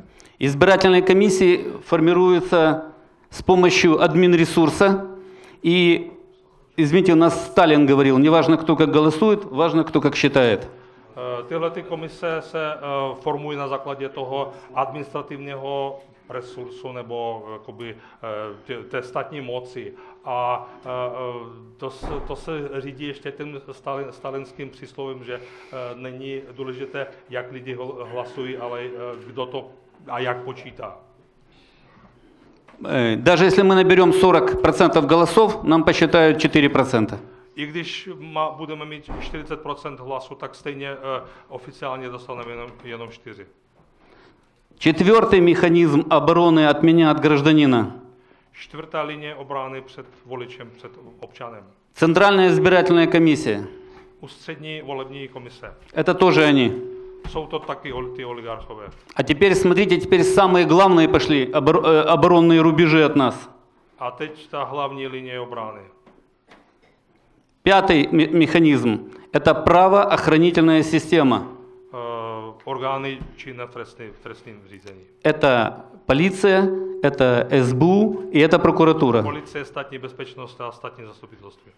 Любую команду отсюда, любую команду отсюда они выполняют по закону, без закона, они просто выполняют команду. Якийколив розказ от этой скупины, они дополняют, ать уж это законное, небо незаконное. И еще один эшелон обороны. Еще дальше линия обороны. Шестой. Šestá. – суды. Soudy. Все суды подчиняются, извините, вот этой группе людей, если, не знаю, если их можно назвать людьми. Veškeré soudy jsou podřízeny eh, této skupině lidí, když těžko říct, jestli jsou to lidi nebo ne. И последний, последний раз работает масс-медиа, седьмой раз. Любого человека, который победил или не победил, но нужен матрице, они объявляют победителем. A e, další úkol dostává ta e, mass media e, v tom smyslu, že e, i když třeba zvítězil ve volbách někdo ji, úplně jiný, tak oni prohlásí za vítěze toho, kdo, koho jim nařídí ta e, vládnoucí skupina. Кто-то в зале может мне сказать, я спросил у сенатора, говорю, господин сенатор, покажите, пожалуйста, как победить. Даже если Билл Гейтс нам завтра дал миллиард долларов на выборы, мы даром их потратим. A já jsem uh, přitom řekl tomu americkému uh, senátorovi nebo kongresmenovi, že uh, uh, může, jestli může mi vysvětlit, jakým způsobem za takových podmínek by se dalo zvítězit v těch volbách. I kdyby nám uh, zítra uh, na ty volby uh, dal miliard dolarů Bill Gates, tak stejně ty peníze nám budou k ničemu. Следующая ситуация. Это только это касается выборов. Э, когда подходишь с аналитикой к какому-то процессу, все становится понятно. Мы против этой системы, против этой системы придумали механизм. Это была пессимистическая часть- сценария, а есть еще оптимизм. Eh, Takže eh, pokud o něčem eh, přemýšlíte a děláte to soustavně, tak dá se najít nějaké řešení eh, jakékoliv problémy. A eh, teď jsem mluvil spíše o nějaké té pesimisti- eh, pesimistické stránce našeho života, teď je to eh, trošku to bude optimističtější. Это будет тема отдельного разговора. Мы знаем, как с этим справиться. Мы знаем, как построить нормальную, правильную и справедливую систему выборов. Eh, Víme, eh, máme plán, jakým způsobem eh, vytvořit eh, normální, eh, spravedlivou, eh, spravedlivý, spravedlivý systém eh, voleb. И у любого украинского гражданина сейчас есть четыре выхода. Jakýkoliv uh, um, ukrajinský občan dneska má uh, čtyři varianty východiska z, té, z této situace. Первый выход – это то, что сделало эм, очень талантливое и э, рабочее э, население Украины. Первый выход – это эмигрировать. První, uh, první varianta, uh, to, co už udělala uh, uh, velká a uh, asi nejtalentovanější uh, skupina um, ukrajinského obyvatelstva, emigro, uh, em, emigrovala. Или временная, или постоянная миграция. Ať už uh, stal, uh, jedná se o o stálé migranty, anebo o, o uh, dočasné. Второй выход – это смириться с этой системой, но мы уже сейчас живем в Сомали, а детям оставим супер Сомали. Druhá varianta, eh, toho chování je smířit se s tím systémem, ale eh, eh, otázkou je to, že eh, už dneska eh, žijeme v, eh, v, na Ukrajině v, eh, jakoby, jako v Somálsku a co, eh, co z- bude naš, našim dětem, co, co jim necháme. Третий выход – это интегрироваться в систему. Třetí varianta eh, je eh, integrace do toho systému. Мы можем, э, мы очень талантливые и э, умеем хорошо работать, мы можем в системе найти свое, свое место с э, уважаемым генералом. Jsme talentovaní lidé, schopní lidé a určitě bychom s panem generálem našli si nějaké vhodné místo v tom systému. Но нам не позволяет эта честь и совесть туда идти. Ale eh, naše čest a naše svědomí nám to nedovolí. udělat. И четвертый выход, самый последний, самый, самый, самый, самый tворческий, это искать альтернативу. A ale čtvr- čtvrtá varianta eh, toho chování eh, eh, je jakosi eh, nejsložitější, ale i nejperspektivnější, že hledat eh, nějakou cestu, jak to změnit. И мы построили организацию, э, которую мы назвали «Другие». A vybudovali jsme organizaci, která se jmenuje Jiní. Мы сделали проекцию развития страны, извините за выражение, ну, извини- извините, с нуля. Udělali jsme projekci jaksi vývoje budování státu od, od nuly. Наш Трабант Мерседесом уже не станет, к сожалению. Eh, Ten náš Trabant už nikdy nebude Mercedesem. Поэтому мы считаем, что другие люди по другим принципам должны построить другое устройство общества. А мы пресвечены, что иные люди на ином закладе вполне мусит выбудовать ten новый систем. И я закончу одним еще маленькой аналитикой, рисовать не буду. Мы насчитали 12 типов деления, которые заброшены в украинское общество. Деление? Деление, деление. A eh, jak si nebudu už to malovat, ale jenom řeknu vám to eh, ústně, že, eh, že jsme eh, jaksi eh, mm, eh, na základě těch rozborů analýz, eh, na, analýz eh, eh, objevili 12, eh, 12 principů eh, dělení té, té společnosti. Нас э, долго, последних лет 10-15, нас власть и те провокаторы, которые себя называют журналистами, политологами, Eh, Už eh, экспертами, 12 let eh, ta statní moc a eh, ti lidé, kteří eh, eh, se jak se hrdě jmenuje jako eh, em, experti, eh, em, jako specialisté, odborníci. Нас делят по 12 признакам. Первый признак – нас делят по языку. У, у, у- украиномовни и русскоязычные. Eh, Takže mm, dělí nás po- podle prvního principu, je to eh, jazyk a eh, dělí nás na eh, ukrajinský mluvící a ruský mluvící eh, obyvatel. Нас делят э, тех, кто живет на Западе и тех, кто живет на Востоке. Dělí nás na ty, kdo žijí na východě a ty, kdo žijí na západě. У нас так получилось, что у нас четыре православных концессии.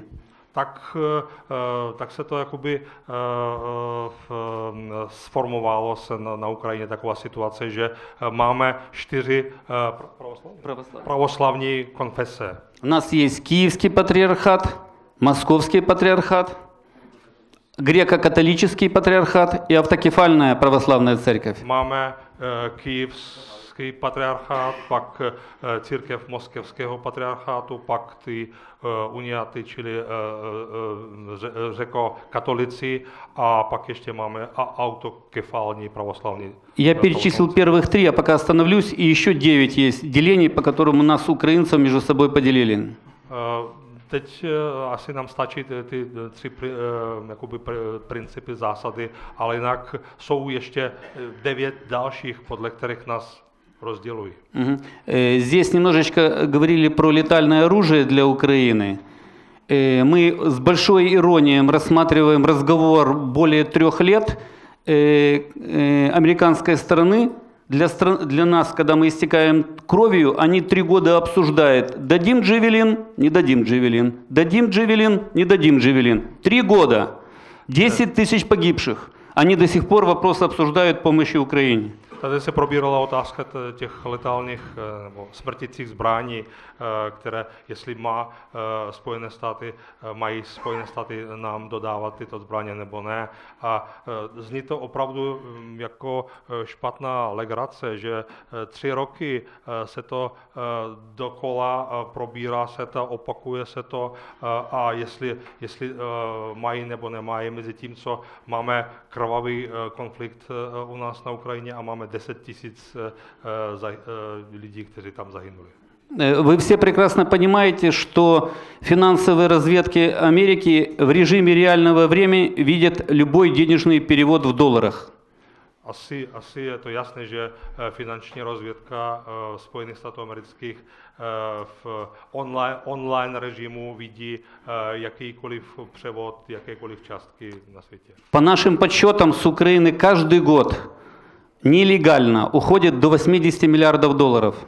Podle těch našich přepočtů eh, z Ukrajiny odchází do zahraničí každoročně eh, ilegálně eh, eh, 80 miliard dolarů. И как вы думаете, специалисты, которые служат в финансовых службах, не видят, куда эти уходят деньги? A myslíte si, že ty odborníci, kteří tam v těch eh, finančních organizacích působí, eh, ne, neví o tom, kam odchází ty peníze? Поэтому коррупция – это есть для тех людей, которые ездят на троллейбусе или на общественном транспорте. Это красивый миф, миф, который скоро кто-то победит украинскую коррупцию. А на самом деле коррупция – это есть лучший механизм управления банановыми республиками. Eh, Proto ten, eh, ta pohádka o, o tom, co je to korupce a kdo a kdy eh, zvítězí nad ukrajinskou korupcí, to je jenom pohádka, taková báchorka pro lidi, kteří jezdí hromadnou dopravou. Mezi tím, co eh, jaksi roz, ro, rozumným lidem je jasné, že uh, uh, rozumným možná v povozovkách, eh, že ta korupce je uh, ideálním nástrojem uh, ovládání Ukrajiny. Я эм, очень много имею примеров по другим странам. Любого олигарха, любого преступника, если надо арестовать денежные средства, арестовывают за одну минуту.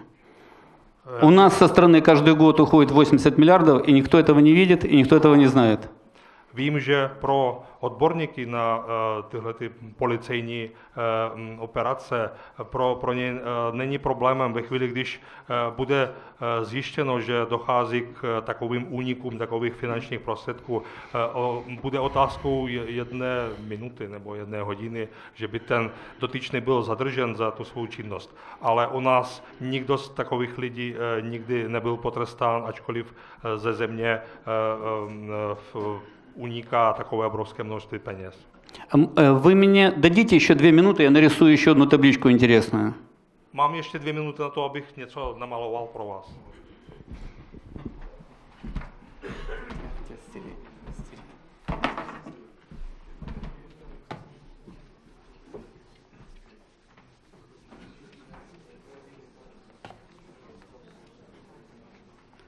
Фломастер, дай мне. Фломастер, фломастер. У нас есть ряд, извините, как преподаватель. Pardon, že, že chovám se jako, jako kantor.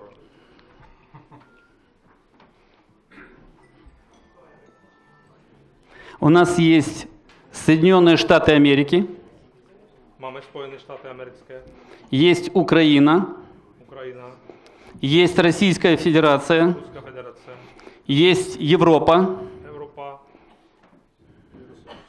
Ну, Европа большая. Мы прекрасно понимаем, что Европа это э, не только Германия, которая имеет командные позиции, но Европа. Víme o, tom, že Evropa je, velká a že je to ne, nejenom Německo, které jaksi uh, má uh, vládnoucí pozici, ale jiné, jiné státy. И у нас неожиданно в нашем конфликте появляется Китай. Сейчас расскажу почему и откуда. A teď v našem konfliktu, do našeho konfliktu ještě, ještě se dostává uh, um, Čína. Čína, teď vám vysvětlím proč, a jak. В Соединенных Штатах, когда мы с генералом Думанским были в Америке, мы увидели две хорошо организованные группы, которые управляют геополитикой. Той геополитикой, где украинцы должны друг друга убивать.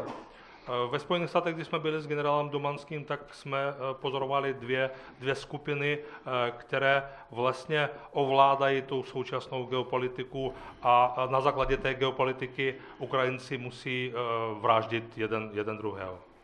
Э, Это партия войны, это партия, которая, в принципе, решала вопрос с Югославией, решала вопрос с Ираком.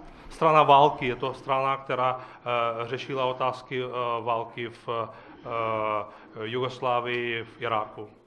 И партия, которая покупает по всей планете экономические активы за 1 доллар. A další strana je to strana, eh, která kupuje za jeden dolar eh, veškeré, veškeré eh, ekonomické aktivy, aktiva po celém světě. Только для того, чтобы активы стоили 1 доллар, надо на этих территориях устроить войну. Ale proto, aby ta aktiva stála jenom ten jeden dolar, tak musí zorganizovat na těch územích válku. Или начинать громко говорить о демократии. A nebo eh, nahlas mluvit o, o demokracii. Украина заплатила больше всего. Украина заплатила Крымом, zaplatila za to eh, největší cenu. Zaplatila Krymem и Донецк, Луганск. А Донецким, Луганским? В Донецке, Луганске каждый день погибают люди. В Донецку, Луганску каждый день э, доходит к объектам на животах. Украина платит жизнью, здоровьем. Платит за то животом, здоровьем.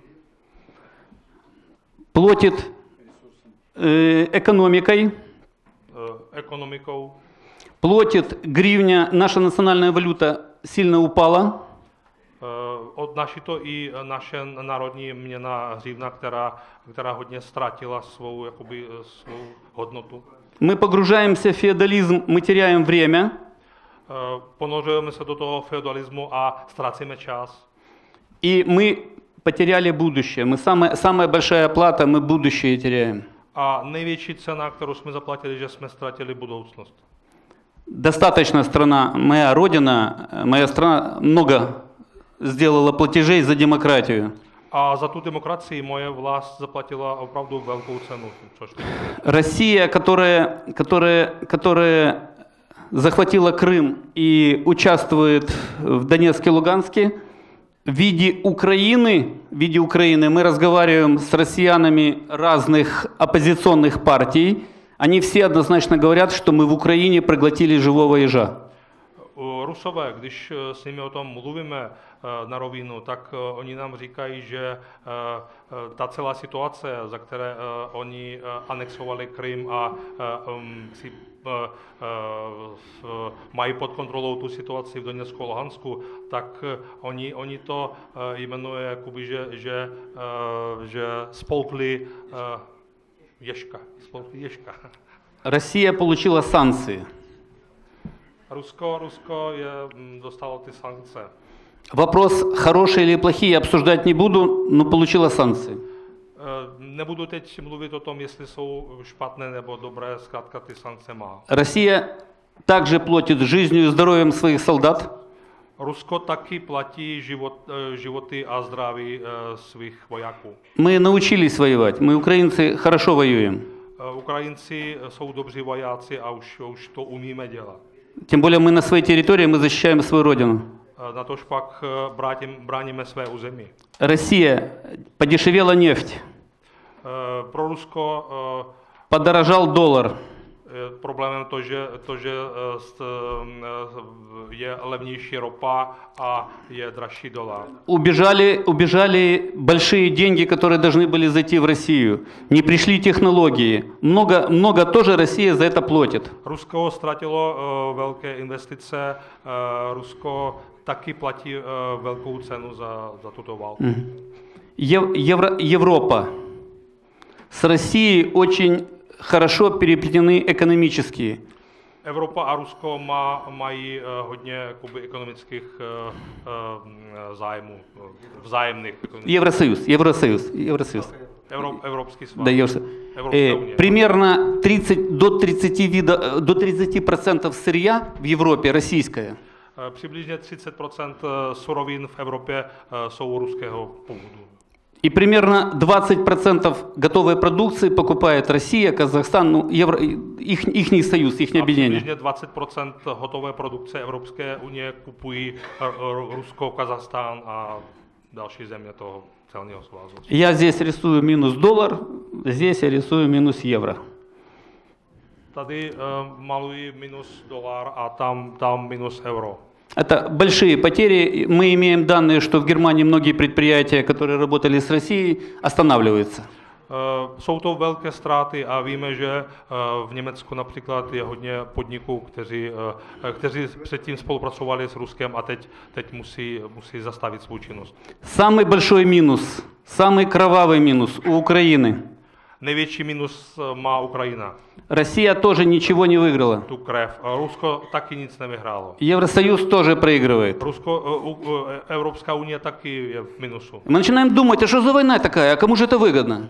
Začínáme myslet na to, uh, co je to za válku a kdo má zájem na té válce. И мы находим партия войны Соединенных, Соединенных Демократических Сполученных Штатов, A hl- vyhledali jsme toho vy- eh, eh, jakoby původce t- eh, v té va- m, straně války eh, nebo podpory války ve Spojených státech amerických. В этом году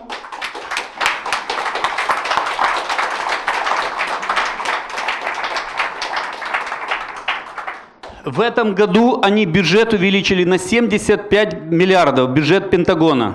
Eh, Tento rok zvětšili eh, rozpočet Penta- Pentagonu o 75 miliard dolarů. А вам, членам НАТО, добавили на 120. A vám jako členům eh, NATO eh, jak si přidali plus 120 miliard. У них 200. У них только в Пентагоне по открытым статьям и- только 200 миллионов, 200 миллиардов прибыли. Eh, Jenom, jenom podle těch eh, eh, mm, mm, v- v- zveřejněných informací eh, Pentagon má plus 200 miliard. А это... Остановлюсь пока здесь. Война – это инструмент Да, да, больших заработков. А теперь партия 1 доллар. A teď ta strana jednoho mm, doláru. Ак- активы, активы в Украине подешевели в 10 раз. Актива, 5, 7, 8, 10. Актива на Украине э, се о э, 5, крат, 7 крат, можно 10 крат. Можно покупать. Лучшее время покупать. Я то лучший час то куп, ти, а, актива куповать. Активы в Российской Федерации. Как бы русские не говорили, что не всех победят, у них тоже идет спад экономики, продажа предприятий. Eh, Aktiva v Rusku, ať už eh, ty Rusové tvrdí cokoliv o tom, že eh, eh, zvítězí, tak stejně i jejich eh, ekonomika klopitá a, a eh, ta aktiva taky se zlevňují. И у тех предприятий, которые работали с Россией в Европе, в Евросоюзе, тоже активы падают. Eh, Taky, taky dochází k eh, propadu těch aktiv i v Evropě. И мы, делая анализ, смотрим, через офшоры появляется один очень хороший покупатель, который покупает все активы по, по трем, по трем ну, таким площадкам. A vidíme, eh, sledujeme to, že eh, eh, vyskytuje se takový zajímavý eh, kupec, který eh, přes eh, offshory eh, kupuje všechna ta zlevněná aktiva. Мы здесь пишем один плюс партия войны Tady eh, malujeme plus та страна валки. И второй плюс – партия активов. А так плюс и та э, страна тех активов, за 1 доллар. На вопрос, на вопрос, что такое геополитика, мне надо отвечать? Уж они не мусим отвечать на отаску, что то геополитика. А вот она геополитика. Tady to. Извините. Я не знаю, может, я некорректно к вам как послу? Možná, že jsem nebyl korektní vůči vám jako vůči Da. vyslanci. Моему сыну 15 лет. Mám 15-letého kluka, syna. Он должен здесь участвовать? On musí, musí se toho zúčastňovat. В чужой геополитике? Musí, musí se zúčastňovat cizí e, geopolitiky. И в это время моя родина превращается в феодальное государство. Mezi tím, co moje vlast e, se proměňuje na feudální stát. И в это время мне рассказывают о торжестве демократии и что мне надо идти на выборы, на которых победить невозможно никогда. A zároveň mě všechny přesvědčují o tom, že eh, jak, jak je skvělá demokracie a jak je důležité jít eh, do těch voleb, které vůbec nic neřeší. В Украине есть очень мощное, хорошее предприятие, называется «Мотор Сич». Na Ukrajině je eh, velmi mocné, vel, velmi, velmi eh, jaksi, eh, velké, velký podnik, který se jmenuje Motorsič.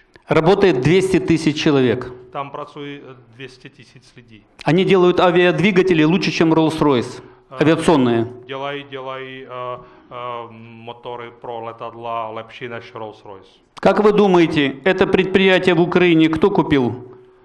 Co si myslíte, kdo koupil ten podnik na Ukrajině?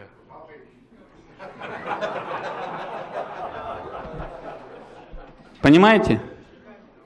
И мы, мы, когда подходим с аналитикой, мы видим ряд синхронных действий Ш- Соединенных Штатов, России и Китая в отношении нас, Украины. A když eh, sledujeme to geopolitiku, tak vidíme, eh, eh, sledujeme eh, jaksi eh, synchronizované eh, em, eh, v, eh, činnosti ze strany Spojených států amerických, Ruské federace a Číny. Нас, Украину, использовали как инструмент в экономической борьбе. Ukrajinu využili eh, jako nástroj v eh, ekonomickém boji. То, что сделала Россия, Крым и Дон- Донецк, это э, феодальное приращивание территорий, это 17 столетие было последний раз. To, co, 18. udělala, Rus, to, co udělali eh, Rusové s tím Krymem a s Doněckem a Luganskem, to je 17. století, to je eh, jaksi feudální rozrůstání státu. Умные же, самые умные, однозначно покупают активы и очень дешево. Ale nejrozumnější prostě kupují eh, za pakatel eh, nej- nejlepší aktiva. Мы сделали анализ, я еще э, таблицу рисовать не буду, расскажу так. Мы сделали анализ, сколько Соединенные Штаты тратили на Афганистан.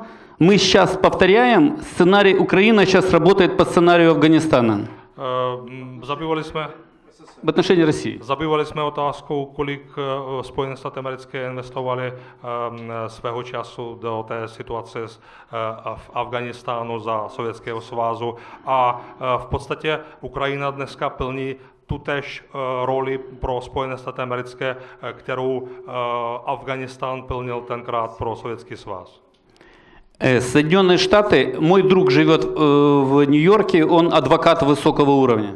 V New Yorku, on je mm, docela renomovaný právník. Я его попросил, и он собрал весь бюджет всех министерств Соединенных Штатов, которые тратили на Афганистан 79-89, когда была советско-афганская военная кампания. Poprosil jsem ho, aby, aby mi uh, jaksi shromaždil informace o tom, jaké rozpočty uh, vynaložili, uh, vynaložila různá ministerstva ve Spojených státech amerických uh, od roku 79 do roku 89, uh, uh, když probíhal ten konflikt v Afganistánu.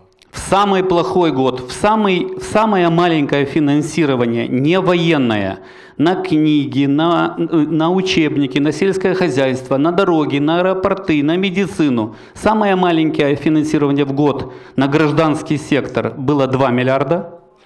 Nejmenší financování jaksi civilního sektoru, čili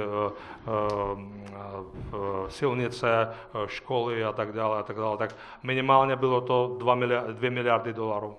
Самое большое было 11 там, с копейками. Financování bylo eh, 11 eh, a něco miliard.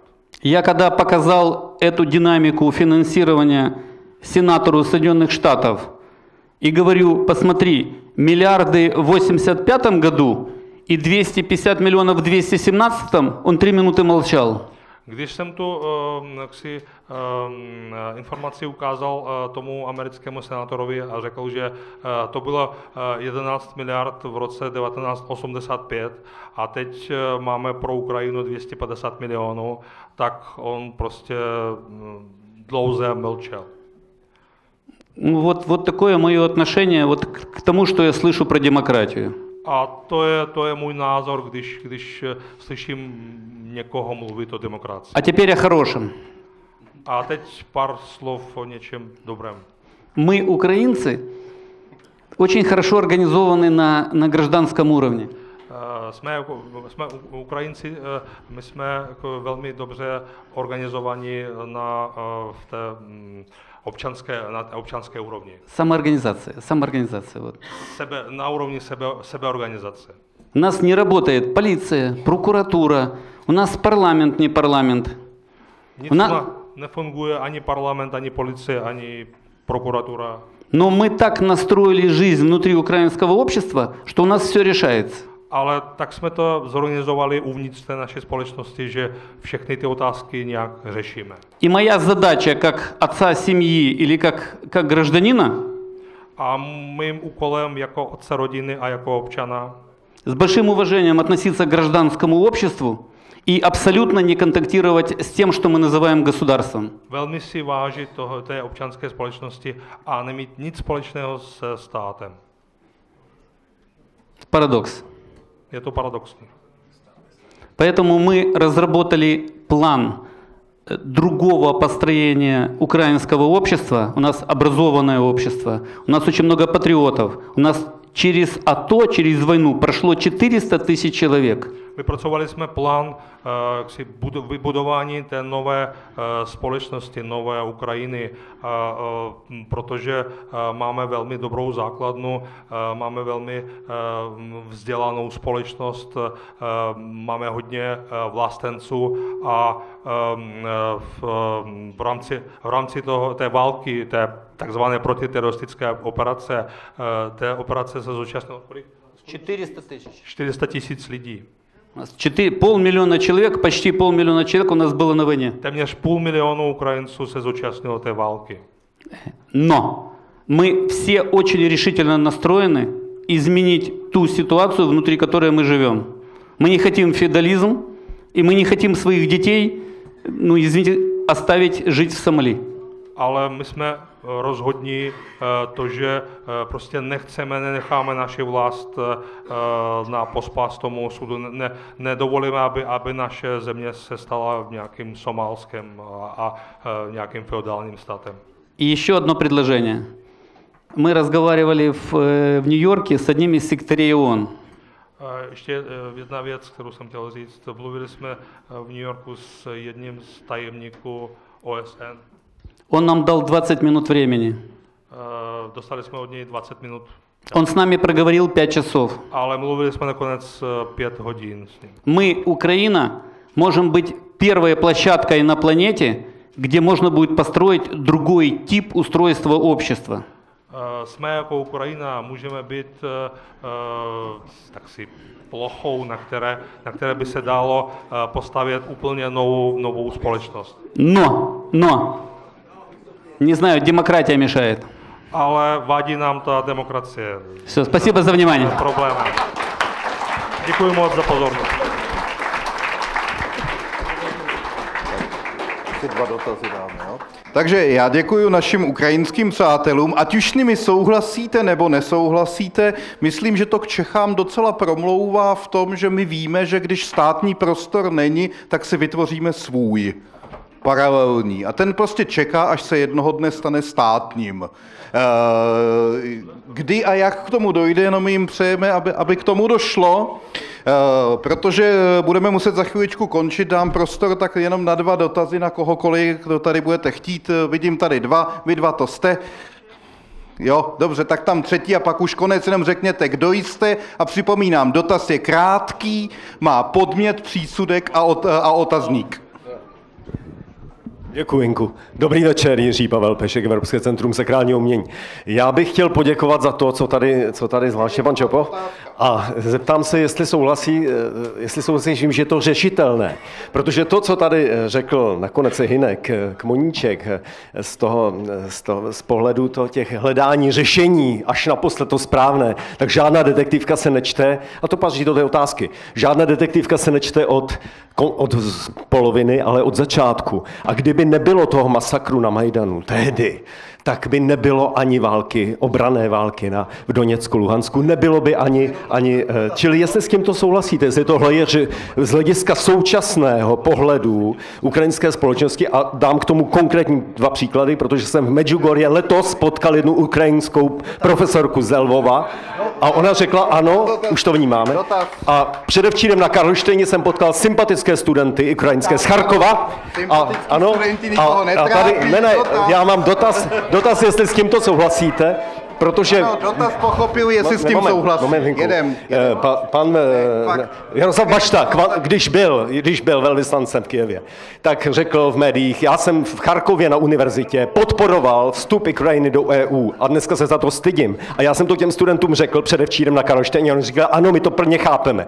Vnímáte to stejně? Děkuji. Ano, dotaz byl, jestli to vidíte a vnímáte stejně, ale to byla klasická otázka, kterou inteligentní člověk bohužel nemůže pochopit, páč je tak dlouhá, že nemá podmět, přísudek a otazník, prosím. Takže další otázka, eh, my se vrátíme, všechno zodpovíme. A prosím, podmět, přísudek, otazník. Dobrý den, já bych eh, položil, já se jmenuji Vít Hasan, eh, jsem fotoreportér parlamentních listů. Rád bych položil otázku našim dvou ukrajinským hostům.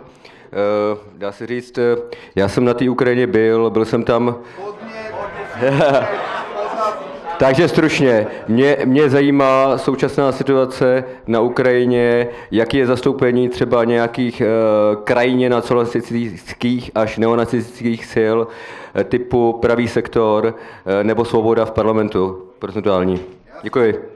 Už jsme byli blíže otázce, která má podmět, přísudek a otazník. Ne, ko- komentáře ne. Komentáře ne, protože musíme v 8 končit. Takže ano, mimochodem odpověď má podmět, přísudek, na konci není otazník a je na danou otázku. Э, Отвечать на первый и второй вопрос. Eh, Mám odpovídat na první a druhou otázku? Nebo... На обе. Э, Первый вопрос, я так понимаю, что был э, по Майдану. Eh, Takže první otázka se týkala Majdanu, že jo? Э, Аннексия, аннексия Крыма и война в Донецкой и Луганской A v области. souvislosti s anexí Krymu a válkou v, eh, ve východní Ukrajině.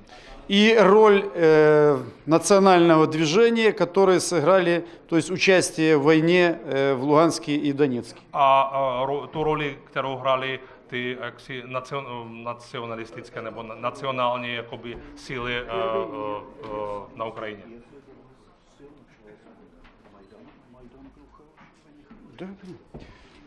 Эм, Что э, по Майдану? Майдан, э, вы, э, вы понимаете, что люди вышли на Майдан, попросили объяснений, почему президент имел стратегию подписания и имел мандат от народа подписать документы к э, ассоциации к, Евро, э, к Евросоюзу, и он э, в один день принимает решение отменить Na Majdan lidé šli eh, z toho důvodu, že chtěli po prezidentovi odpověď na otázku, proč eh, vyhlásil eh, předtím eh, politiku nebo program integrace s Evropskou unii a pak najednou během jednoho jediného dne eh, to stanovisko změnil a tu politiku obrátil na rubu. Э, Там э, произошла сакральность, то есть побили детей, побили студентов. Провокация спровоцирована была. И на другой день вышли другие силы. Tam došlo k, eh, řekneme, eh, ještě jedné eh, sakrální oběti, eh, protože tam eh, byl brutální zásah proti eh, studentům a poté, co k tomu zásahu došlo, tak eh, do toho Majdánu šli už úplně jiní lidé. Тогда вышли другие силы уже бороться не за Евросоюз, а бороться с олигархами, те, которые есть при власти, те, которые грабили государство. Это президент, действующий той власти, и та власть, которая была возле него. A tam už šli do toho Majdanu lidé, kteř, kterým až tak moc kuby, nezajímala je otázka té eurointegrace, ale oni šli tam bojovat proti oligarchům a pro, pro něj ty oligarchové byli eh, tenkrát vla, vla, prezident, který vlád, vládnul eh, na Ukrajině a ta skupina, která ho jakoby, eh, podporovala. Дальше снова вторая сакральность. Действовала третья сила, которая до сих пор не имеет расследования, полного расследования те, которые погибли на Майдане. Кто расстреливал людей, как с одной стороны, так и с другой стороны. Eh, Dále došlo k ještě jedné sakrální události, k tomu eh, střílení po lidech eh, na Majdánu, eh, kdy asi vstoupila do toho konfliktu nějaká třetí síla a ani do dneška nevíme, kdo to byl, kdo vlastně srežiroval ty, ta ostřelování a to že, to, že zahynuli lidé jak na té první, tak na té druhé straně.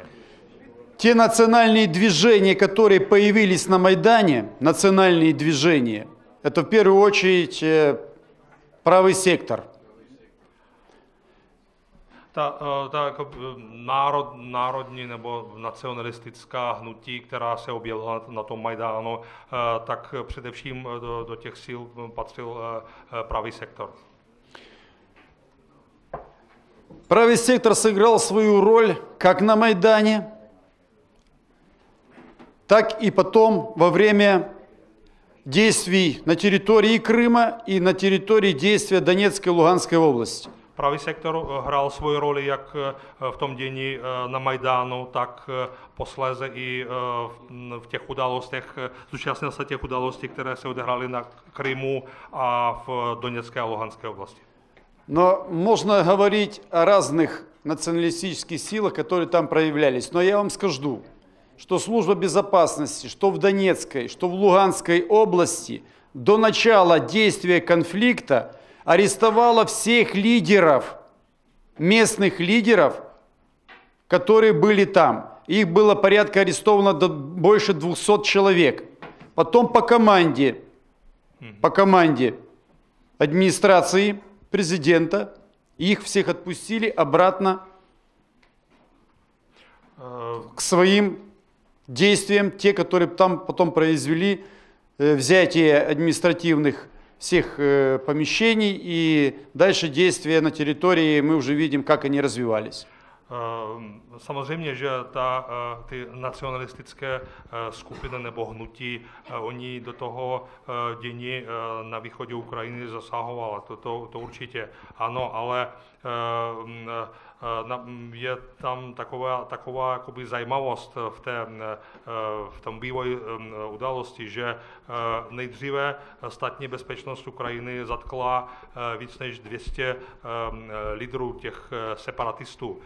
A pak na rozkaz prezidenta eh, všichni tyto lidé, eh, čili vůdci té, té, toho separatistického hnutí, eh, byli propuštěni na svobodu a začali vyvíjet tu svoji činnost, která, která se vyústila v, v to, že byli, byli, si, mm, byly, mm, byla převzata ta, ta moc v těch oblastech a mm,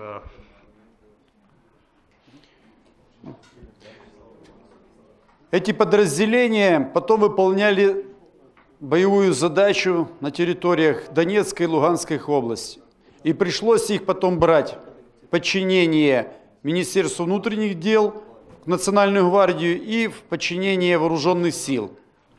Tyto nacionalistické eh, hr- skupiny eh, samozřejmě, že zúčastnily se těch eh, válečných událostí, a, ale potom eh, jak ministerstvo obrany, tak ministerstvo eh, vnitra eh, um, jaksi provádělo různé, různé akce, eh, v rámci kterých eh, ty skupiny byly zařazeny do, eh, do eh, útvarů těchto, těchto ministerstev.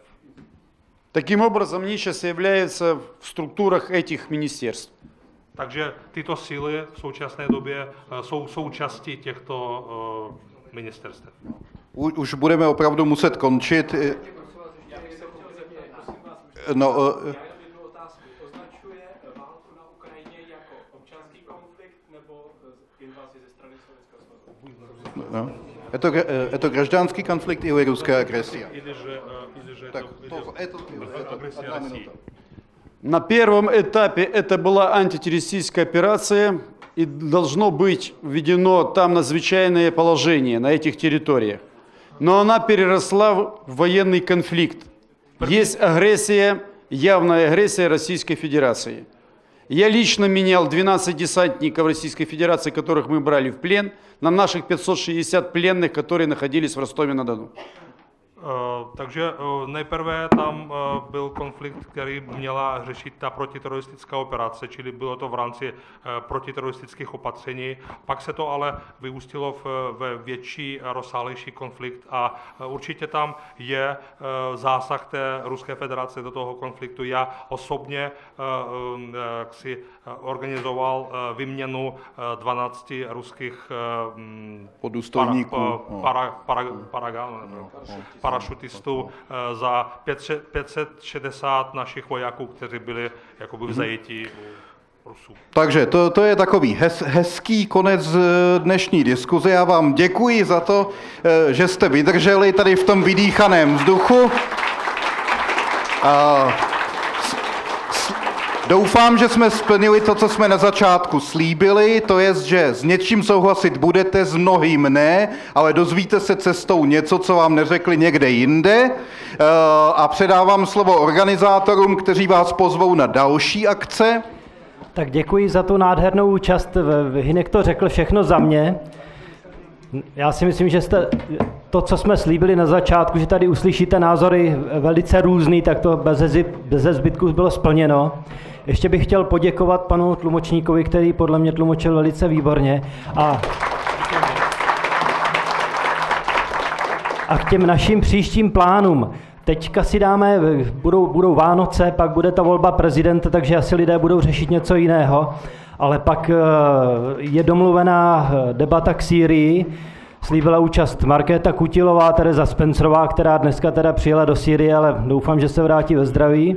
Takže to, to je ten další plán.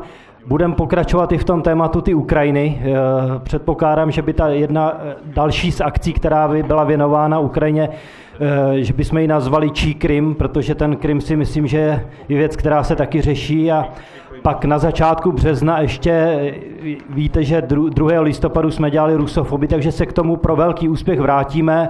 Eh, Opět přijede Veronika Sušová ze Sfinska, Jan Keller, eh, poslanec Evropského parlamentu, takže myslím si, že zachovejte nám přízeň a máte se na co těšit a děkujeme za účast. děkujeme. Nashledanou. A na závěr můžeme jenom popřát hodně štěstí Ukrajině, protože když ho bude mít Ukrajina, budeme ho mít taky. Naschledanou.